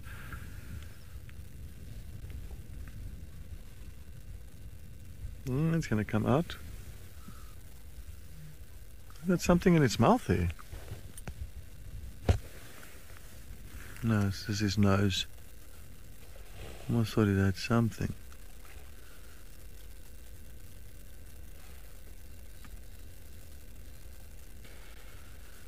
But trust me, I've got no idea what is it doing there. Maggie, uh, to moves like a creepy crawly. I think we can imagine having a creepy crawly like this at home.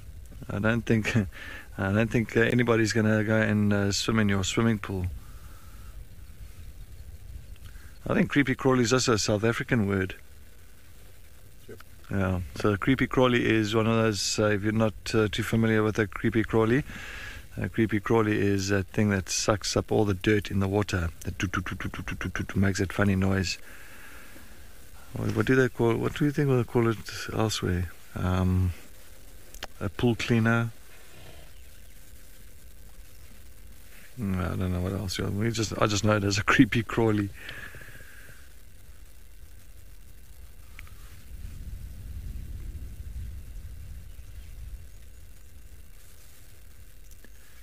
From the old, from this side, what do you reckon?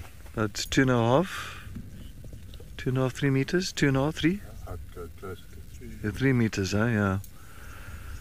About a three meter croc this.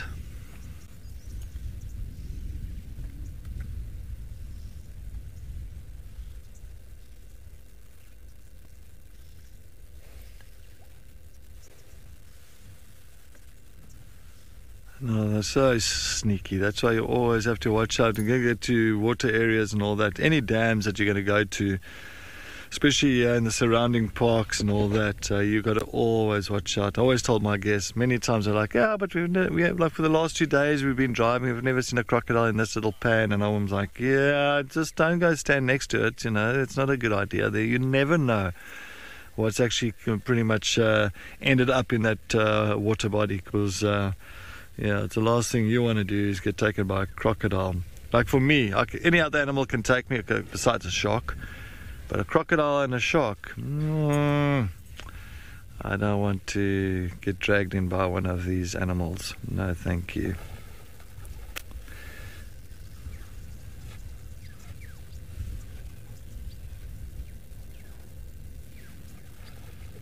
he's going to settle down there now.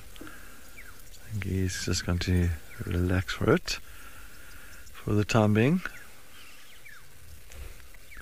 And we've got another amazing hunting bird here, a grey heron. Also very stealthy, just as stealthy as a croc.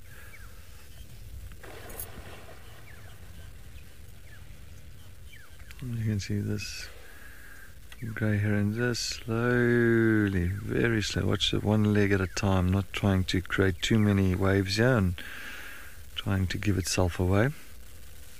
With a lightning strike lightning speed strike, it or try and grab maybe a frog or some fish. Actually, I saw an amazing clip the other day, actually yesterday, funny enough, thinking about a grey heron. It was about it was a grey heron, and somebody took a a clip of a grey heron busy swallowing an Egyptian geese gosling, a little gosling.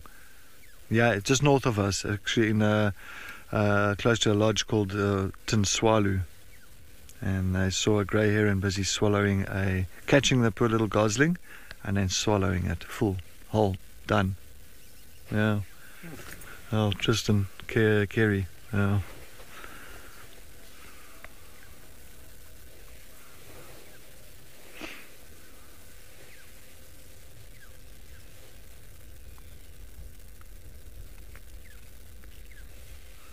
So it just shows you, uh, herons are quite uh, quite mean, uh, quite mean birds. Shall you say it's your favourite bird in the world, or most prettiest bird in the world? Your opinion? Okay, oh, it is brilliant. Well, it is. Uh, Lauren loves it. Lauren loves the grey heron. That's her favourite bird. Oh, most patient hunter. And pretty as well. Let's say both. But it is a patient hunter as well.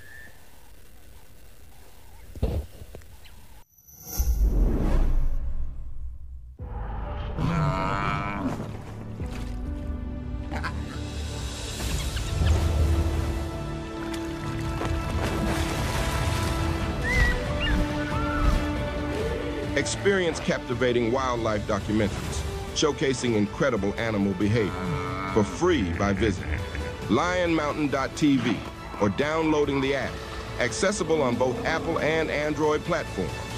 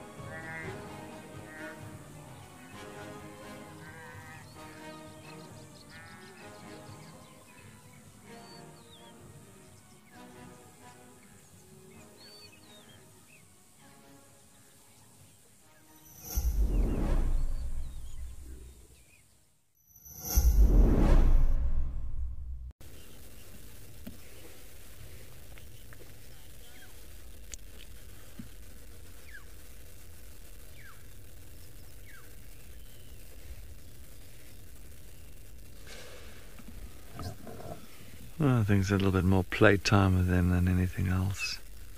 I've got an older one on the side, the youngster on the right. Oh, there. I think it's just a bit of playtime. Maybe a mom and calf. It's enjoying the late afternoon.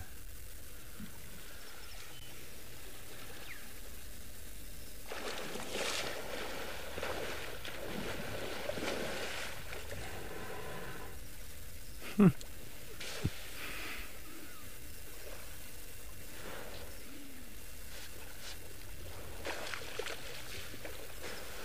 Mom and youngster, yeah.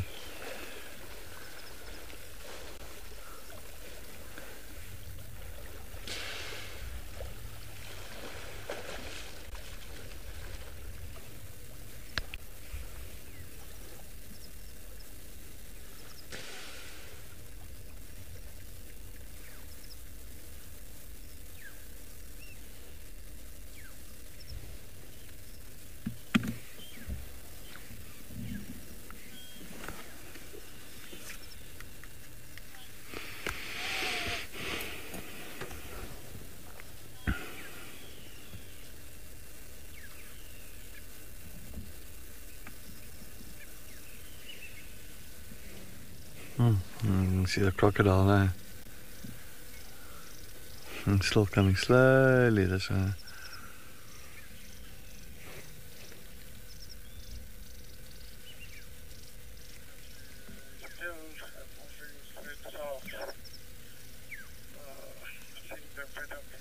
Maybe check way back next elephant carcass.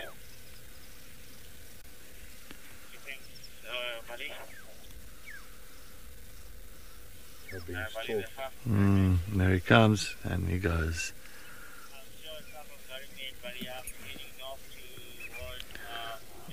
All right, let's head up. I think let's head over to Steve with the, those lines uh, while we are going to try and look for those buffaloes.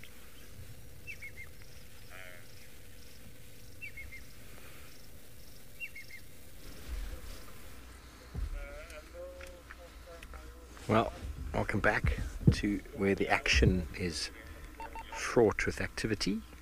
And this is Chela here, who's uh, going to get photobombed, BK.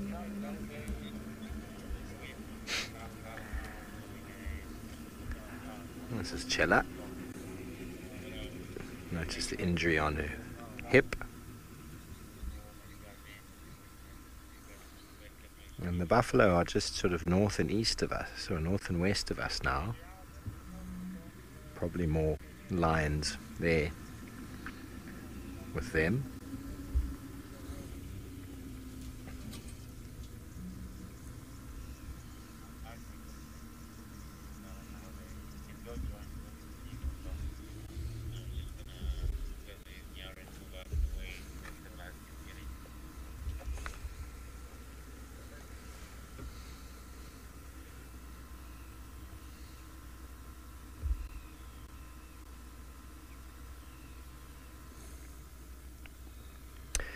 Sandy Franklin, I think the male would love to mate.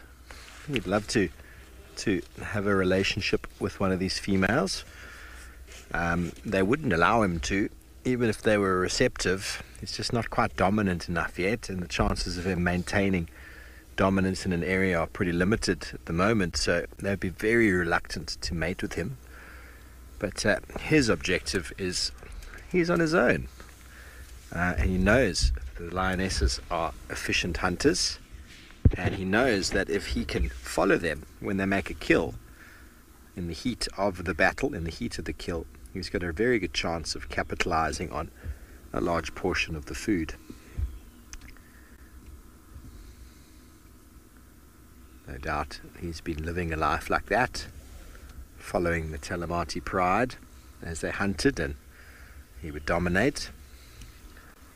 He's bigger than them individually. There's going to be a head rub here. Oh, almost.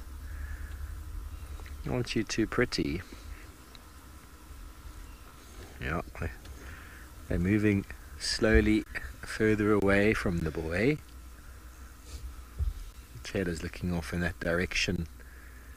Maybe the other lioness is heading in that direction earlier, and she's waiting still for that telltale noise of them chasing buffalo.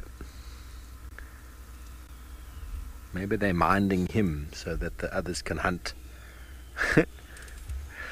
I don't think that's the case, but uh, whatever's happened, I have no clue. They've all been in this sort of area since last night already.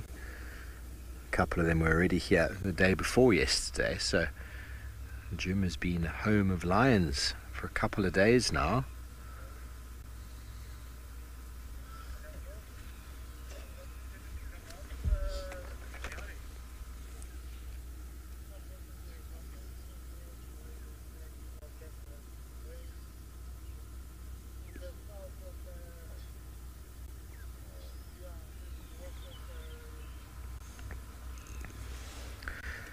Diane from the UK, you know, lion cubs can go for quite some time without milk. Obviously, it's not ideal the longer they wait. Uh, the longer they wait, it's not just the milk that they're missing out on, it's the, the protection against potential dangers. But it, it is a common thing when a lioness is on her own or has cubs on her own.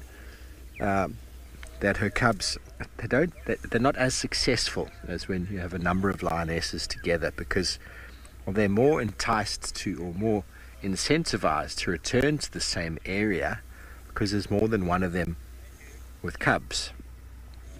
If just one of them has cubs, we saw that with Amber Eyes. She unsuccessfully had cubs for a number of seasons until all of the females bred at the same time. Then everything shifted. It was all in the same area. The lionesses were incentivized to remain quite local, and uh, so we saw very successful rearing. Uh, when you see just one litter of cubs in amongst the whole pride, no others are being born, the success definitely deteriorates. Oh, yummy.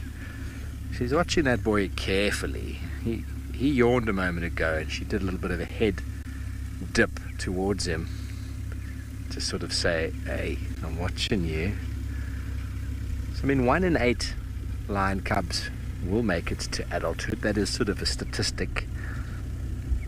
In my opinion, when you have more than one lioness breeding at the same time, not only is the ability for communal suckling, you got more than one lioness in the area. They don't go as far away hunting and the cubs aren't left unattended for long periods of time. Uh, when a lioness is away, she can cover vast distances, and if she takes two, three, four days to come back, it's not just the lack of milk that is the concern, it's the potential of them being detected by something else. So I don't have a, a day or number of days for you, but I would say they could go for more than a week. But I think that would really, if they're at that tender age, would really influence their growth potential because that stage the milk is just so rich in all the nutrients that they need. They're just growing bundles of fur. Without it, definitely impede their growth.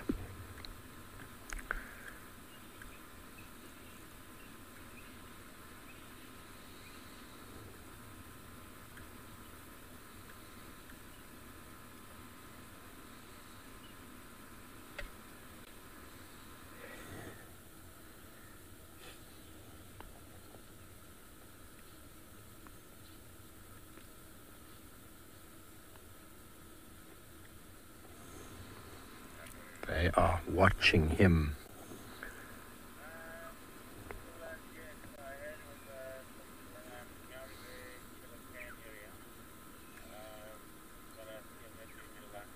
Tompa, I don't know. I haven't seen them.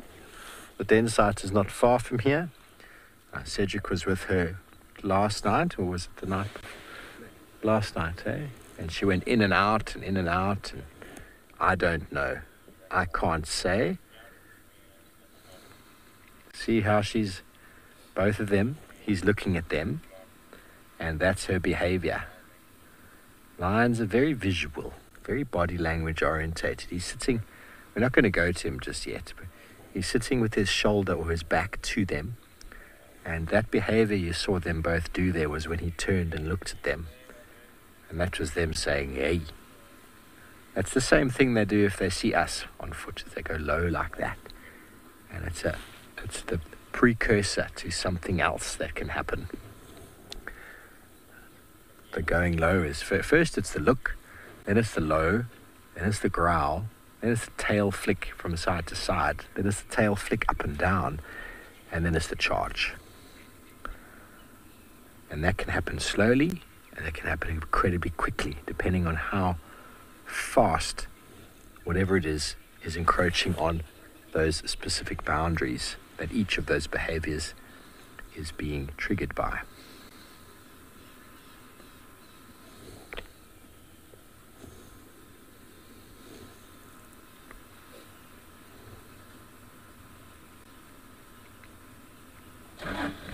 We might hear another vehicle. We have Aubrey from Djuma who's come to join us. He's the one who called in the buffalo not long ago.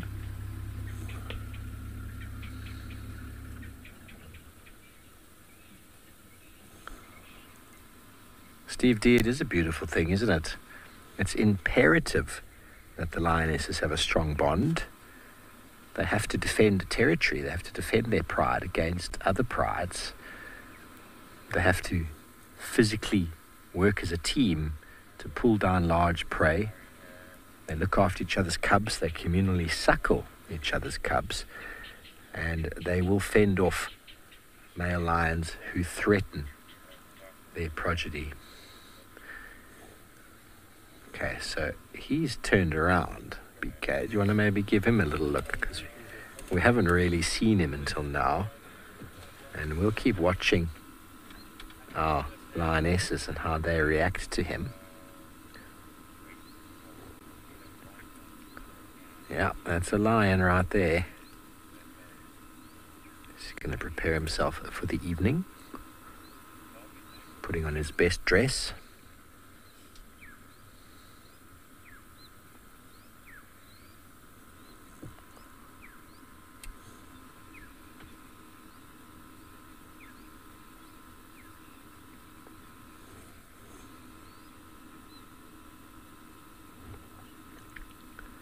We'll stay on him, and I'll just let you know that Chella is not happy that he's here.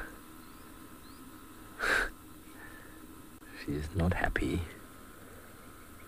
And he's just pretending he doesn't really care.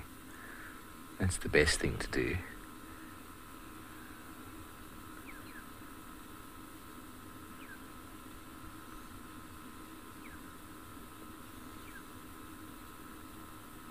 He's kind of looking at her out of the side of his eye, going, I can kind of see you there, but I'm not intimidated by you at all. I'm a big, fierce male lion, after all, you see.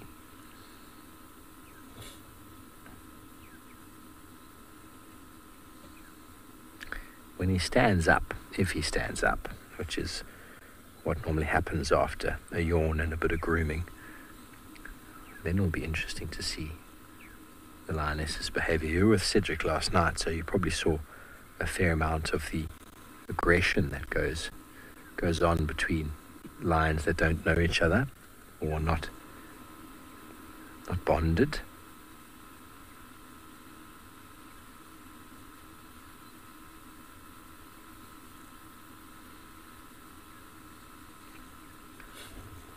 Uh, he's looking over longingly Please accept me here, ladies. I just want to hang out with you and go on a little bit of a date. Please, please, please.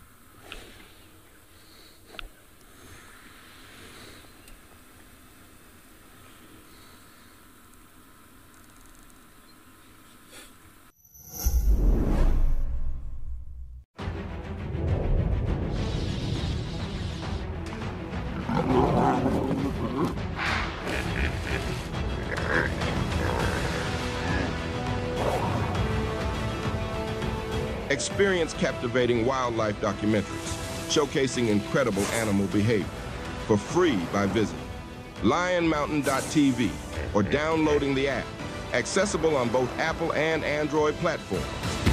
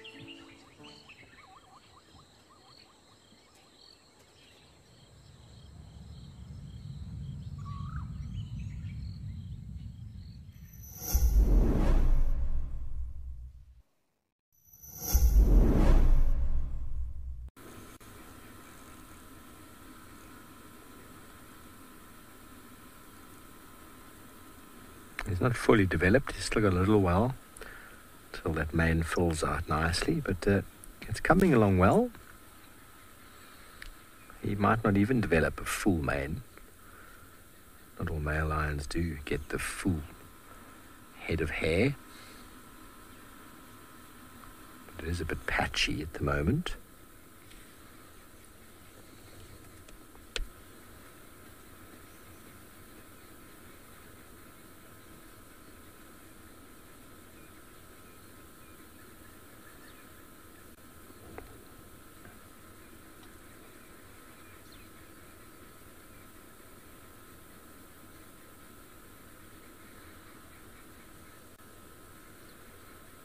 Finds himself in a very precarious position as a nomadic young male.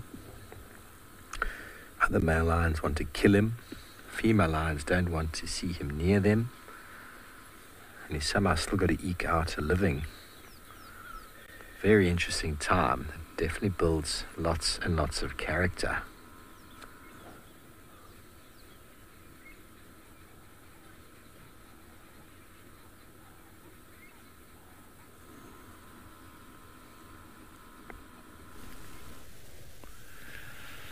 All right, so we are in infrared at the moment. We have lost a little bit of light, so I've gone into infrared.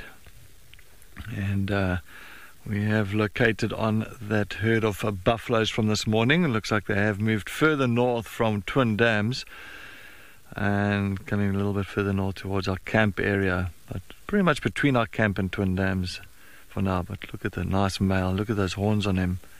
Beautiful boy. And then you got a female coming in, in front of him much thinner horns compared to those males. Oh, look at all those flies. Oh, that'll irritate me. That'll irritate me quite a bit with all those flies. And they don't buzz off, they just kind of go back and sit exactly where they took off and you can see. But now the rest of the Nkuhuma Pride, where are they? That's the question. Are they following these buffaloes? Are they behind them somewhere here? That could be the question. And only if the Talamati male went with the Nkuhuma females away from Chella, it would have been a good idea. At least you can feel a little bit more relaxed without that male hanging around Twin Dams where cubs are. Oh, but look at this male. He isn't. when they lift their heads up like that and they sniff the air, you know, that's when a buffalo is meaning watch him, watch him. He's meaning business. Oh, they've not got a tag on the ear. The left here. See there, got a tag. The one at the bottom. Got it? Oh yeah. Oh, it's got a tag. I've never. That is interesting. You've been tagged. You read. Yeah, you. Huh. Oh, you'll tag this one in the post tonight. Ha. Anyway, yeah, so interesting to see a tag on a buffalo. Oddly, I don't really get to see any buffaloes tagged here in the Greater Kruger Park. So, yeah, that is interesting. Hmm. Maybe just like a little GPS uh, tag that. It seems like a little GPS tag. So just to see sometimes a little bit of research on certain animals, and uh, clearly they are researching buffaloes and their movements. So see exactly where these buffaloes move through the entire park. Oh, here's a big boy next to us here. Full of mud on the side. Caked with mud, yeah. Monica, yes, it's nice looking at uh, watching buffalo herds, and the best is watching buffalo herds when lions are following them. Then it's nice to watch a buffalo herd. But not in the dark. No, not in the dark for Gert to myself. Yeah, that's true. Yeah, we, it seems like we, every time I'm with Gert, it seems like there's always buffaloes involved in uh, our drives. So, yeah, maybe Gert is uh, a buffalo magnet.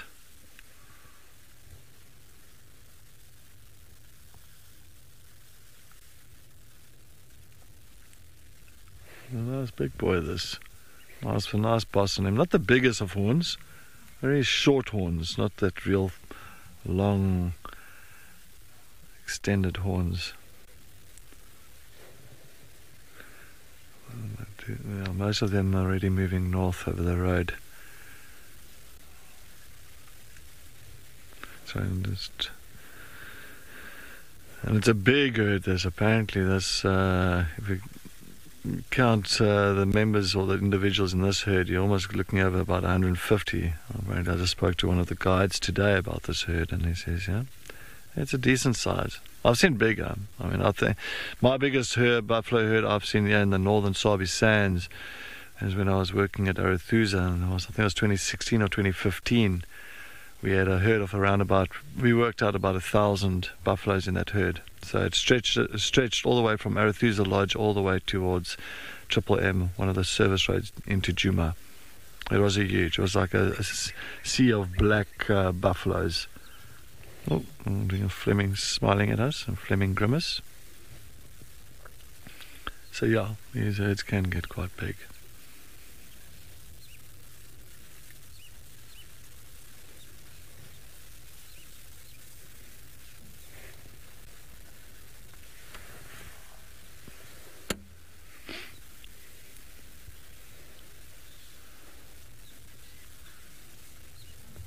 Mm, oldish female.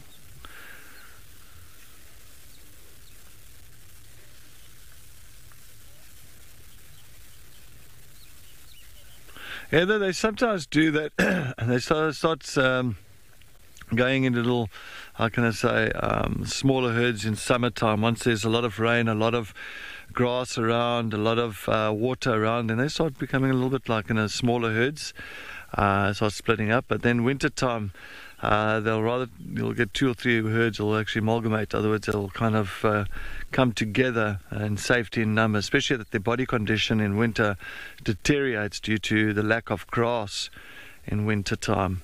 And then if you've got safety in numbers, it helps them just to feel a little bit safer that way.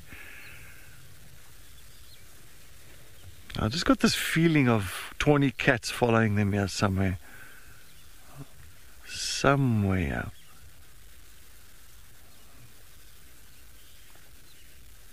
and keeping our eyes peeled. So we are pretty much sitting there. We're just situated. Yeah, we're situated at the back of the herd at the moment. I'm actually going to go a bit forward. because It looks like there might be one that's in the water here. Just want to go a little bit forward. Yeah.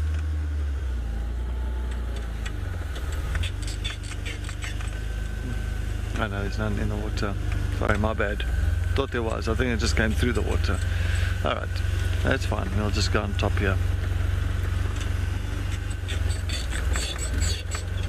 Ah.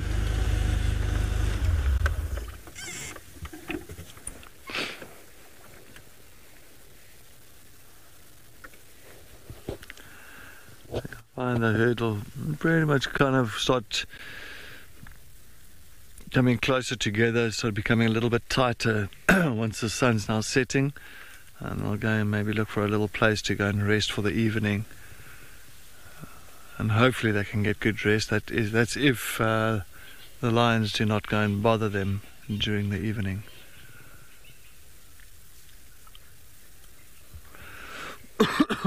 Excuse me.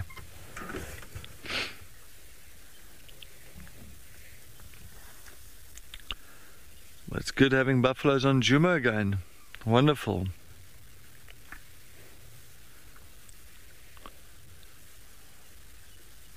always summertime, it seems like we're always lacking these herds coming on due to so much food and water around. And then when uh, winter comes around again, the grass that hasn't been grazed on here, uh, buffaloes tend to get drawn back to these areas.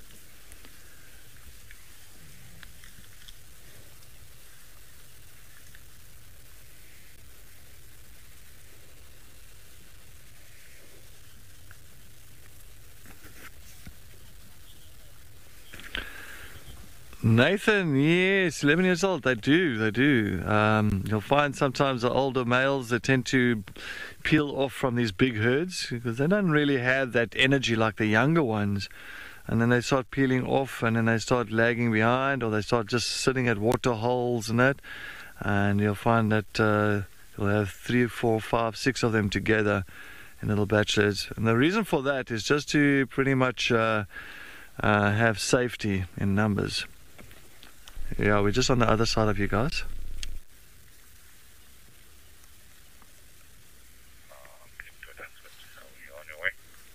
No, no, no. I'm just uh, we just uh, focused on the road. Yeah, just see your mother coming in there.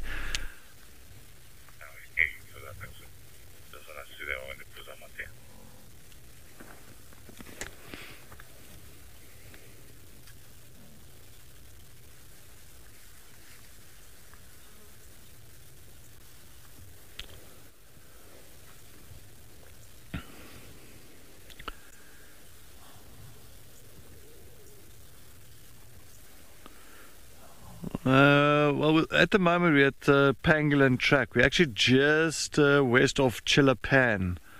West of Chellapan on uh, Pangolin Track. That's where we are currently with the buffaloes. Iboof.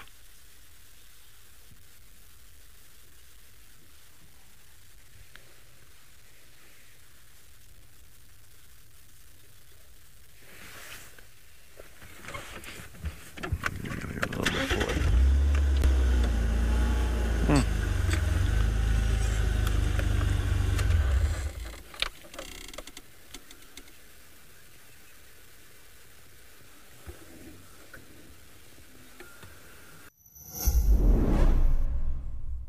We've got a refreshing splash of entertainment this March. Africam is surfacing with a new show. Join us every morning and submerge yourself in nature's ambience.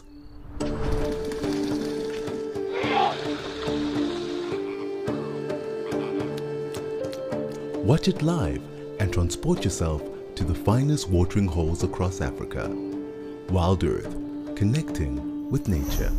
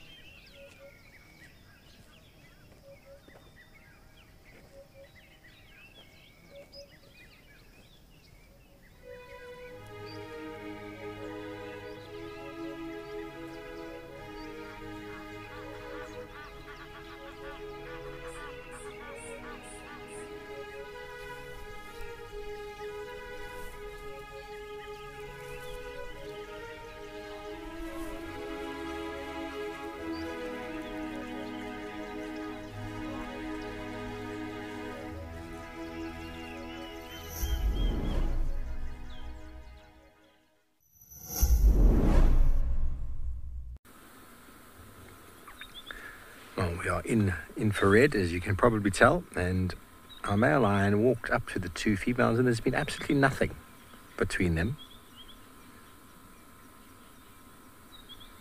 Absolutely nothing.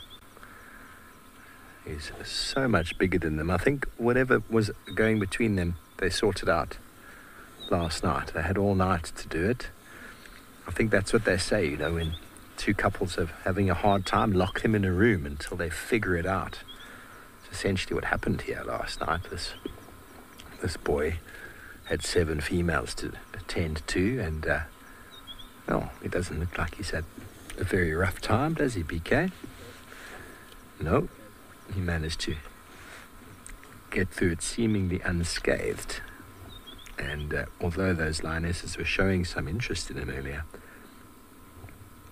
they're completely blasé now to his presence.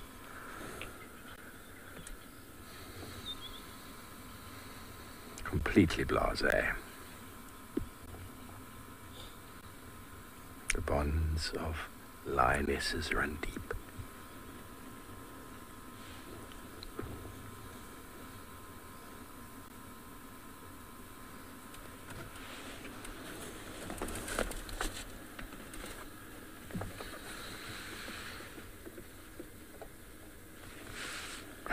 Darling, which other female is pregnant?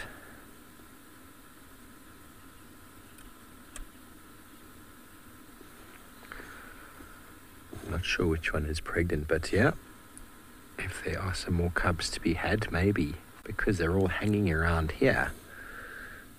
We know the Mawati drainage line has been the source of our big cats' successful breeding over the last few years. Chella had her last litter just up the drag and Purple Eye, Ridge Nose, Amber Eyes had theirs also, just in the river, not far from Chellapan. We're just a few hundred meters from there as we speak.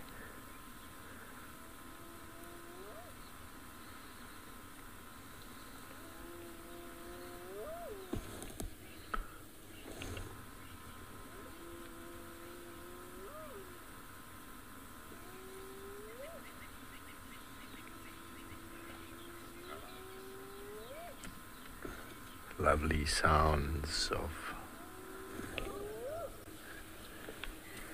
clan hyena.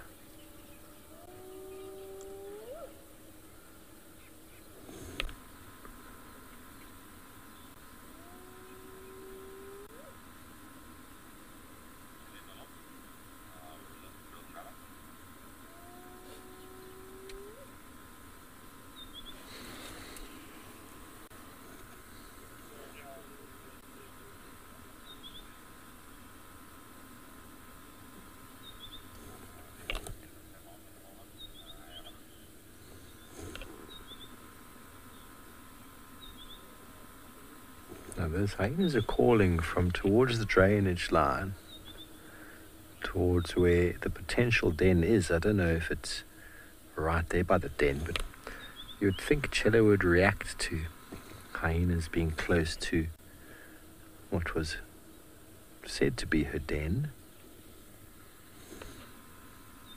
Cheeky baby Ellie, a little cuddle puddle. Nothing quite like it.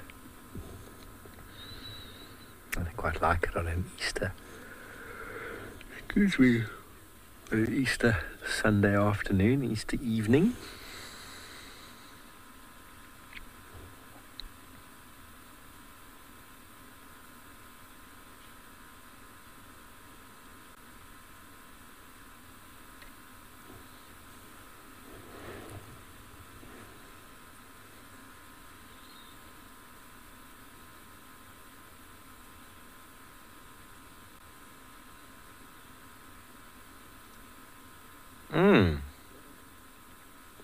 Okay, I'm no expert, everybody, identifying who these lionesses are.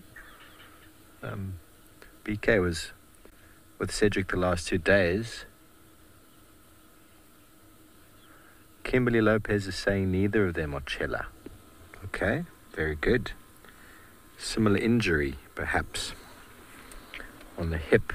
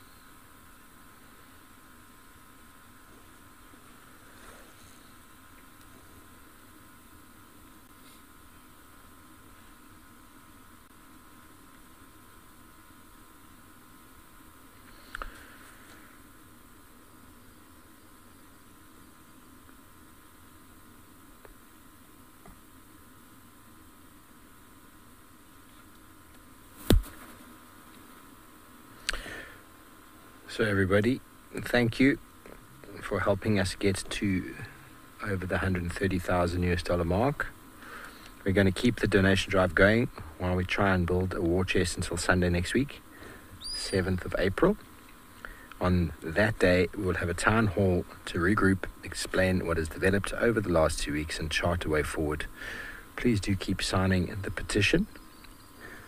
We need over 10,000 signatures, which we have achieved. So thank you for that. And our lionesses are on the move. Is our boy going to follow suit?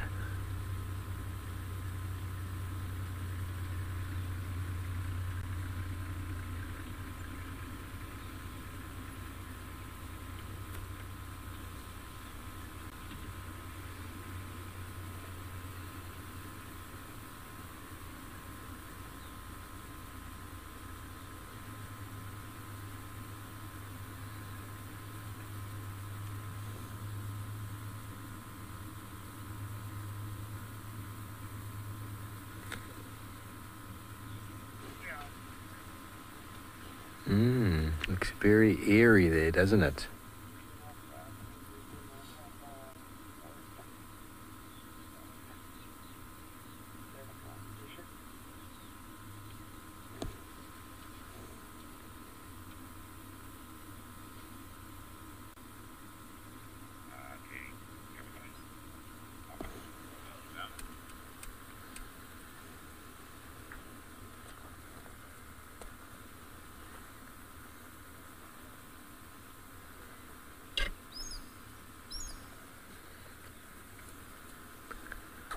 And there we go.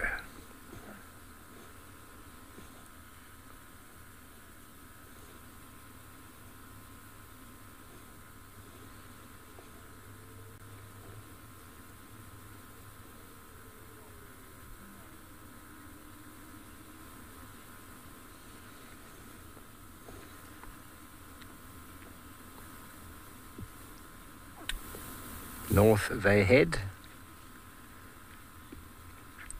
Slowly but surely they'll head towards the buffalo.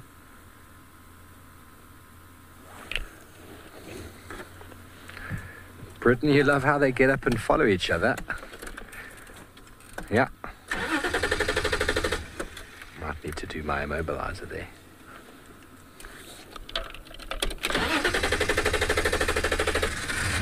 Here we go. A little head shake does it. Make sure we don't drive in any lion scat. BK, we're checking.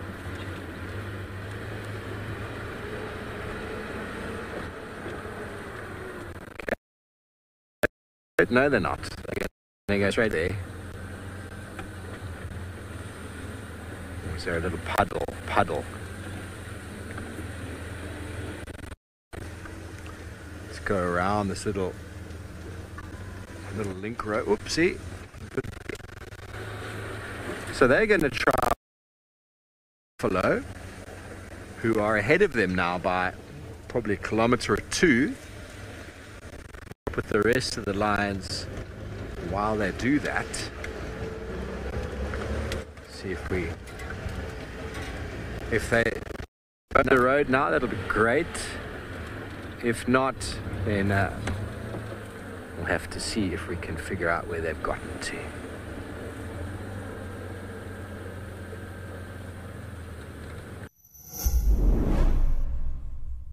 Are you a wildlife fanatic, glued to YouTube for your daily dose of animal antics? Then, welcome to Africam's wildlife community. By joining our YouTube memberships, you get no ads, just wild live streams, chat with other bush fans, get early access to exciting camera spots, and flex your wildlife knowledge with fun quizzes. Visit Africam's YouTube channel and click the join button now.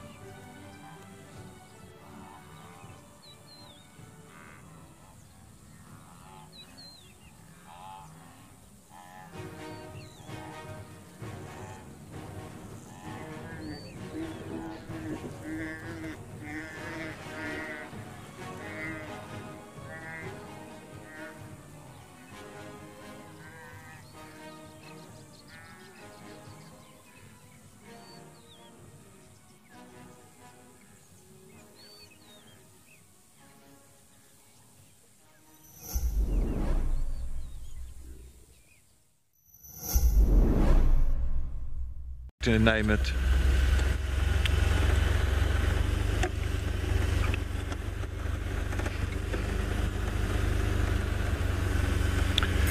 Alright, slowly but surely approaching camp. What a lovely afternoon. What a lovely afternoon. Nice crocodile, nice uh, uh, buffaloes. Easter hunt was quite uh, entertaining. Well done to Steve on uh, winning that one. Uh, and then mm, I'm coming up to camp.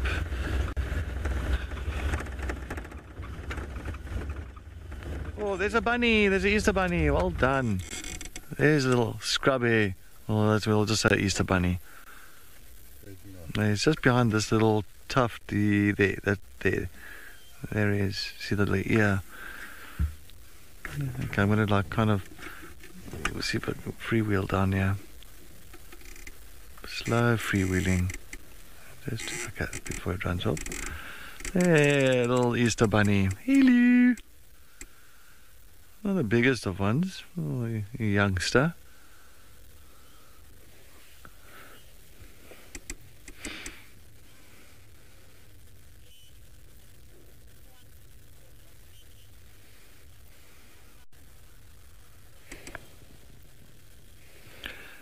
A nice little scrubby.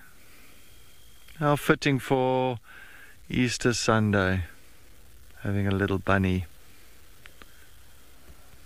hopping around here on the big open clear clearing just south of our camp. I might just try and go a little bit forward, see if we can. Come on, freewheel. You can do it, Cedric. You can do it. Uh, might get him better there. What do you think? Yeah, we might. Okay, let's see. Yeah, that's a little bit better. There we go, little youngster. Oh. Yeah, Susan, what an ideal way to end Easter, yes, with the little scrubby. Hey, that is uh, so, so ooh, fitting. Just went black.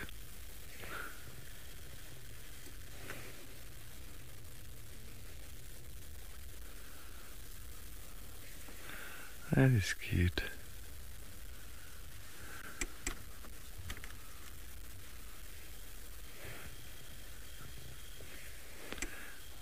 That's a nice way.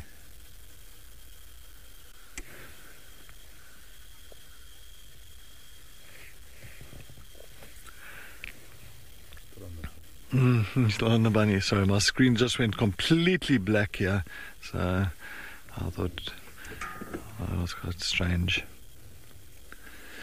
But yes, uh, so tomorrow, tomorrow and Tuesday we will not be live. Just remember that we're not going to be live, but uh, sunrise and sunset safari will be replaced with uh, amazing content. So please still join tomorrow and take a look at all the amazing content that we are going to show you, as well as uh, yeah, we'll see you again on a, a live live safari on Wednesday morning. Sorry, I just hear Impala's alarm calling behind me. Yeah.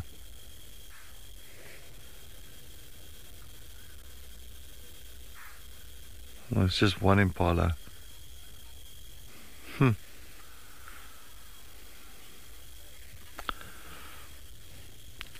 African Sunset, yes. Happy Easter to you too, and uh, thank you so much for joining us on uh, on the world's largest uh, live safari vehicle. And uh, it has been quite a, a wonderful day, and I'm hoping that everybody had a fantastic Easter weekend and spent some good quality time with friends and family, and uh, just had a blessed weekend. But what a way to end this evening's sunset safari with uh, scrubby. And as I want to say, once again, thank you so much for all the comments and all the questions that everybody has sent through to us this afternoon and joined us on our Easter hunt. And once again, well done to Steve on winning the Easter hunt. Well, you did have like 20 minute head start. anyway, so yes. Um, well, we will see you once again. We'll see you on Wednesday morning for the sunrise safari. But yeah, from uh, Gert, from the Wild Earth crew, from a little Easter bunny, and from myself, have a wonderful, wonderful uh, evening further. Good night.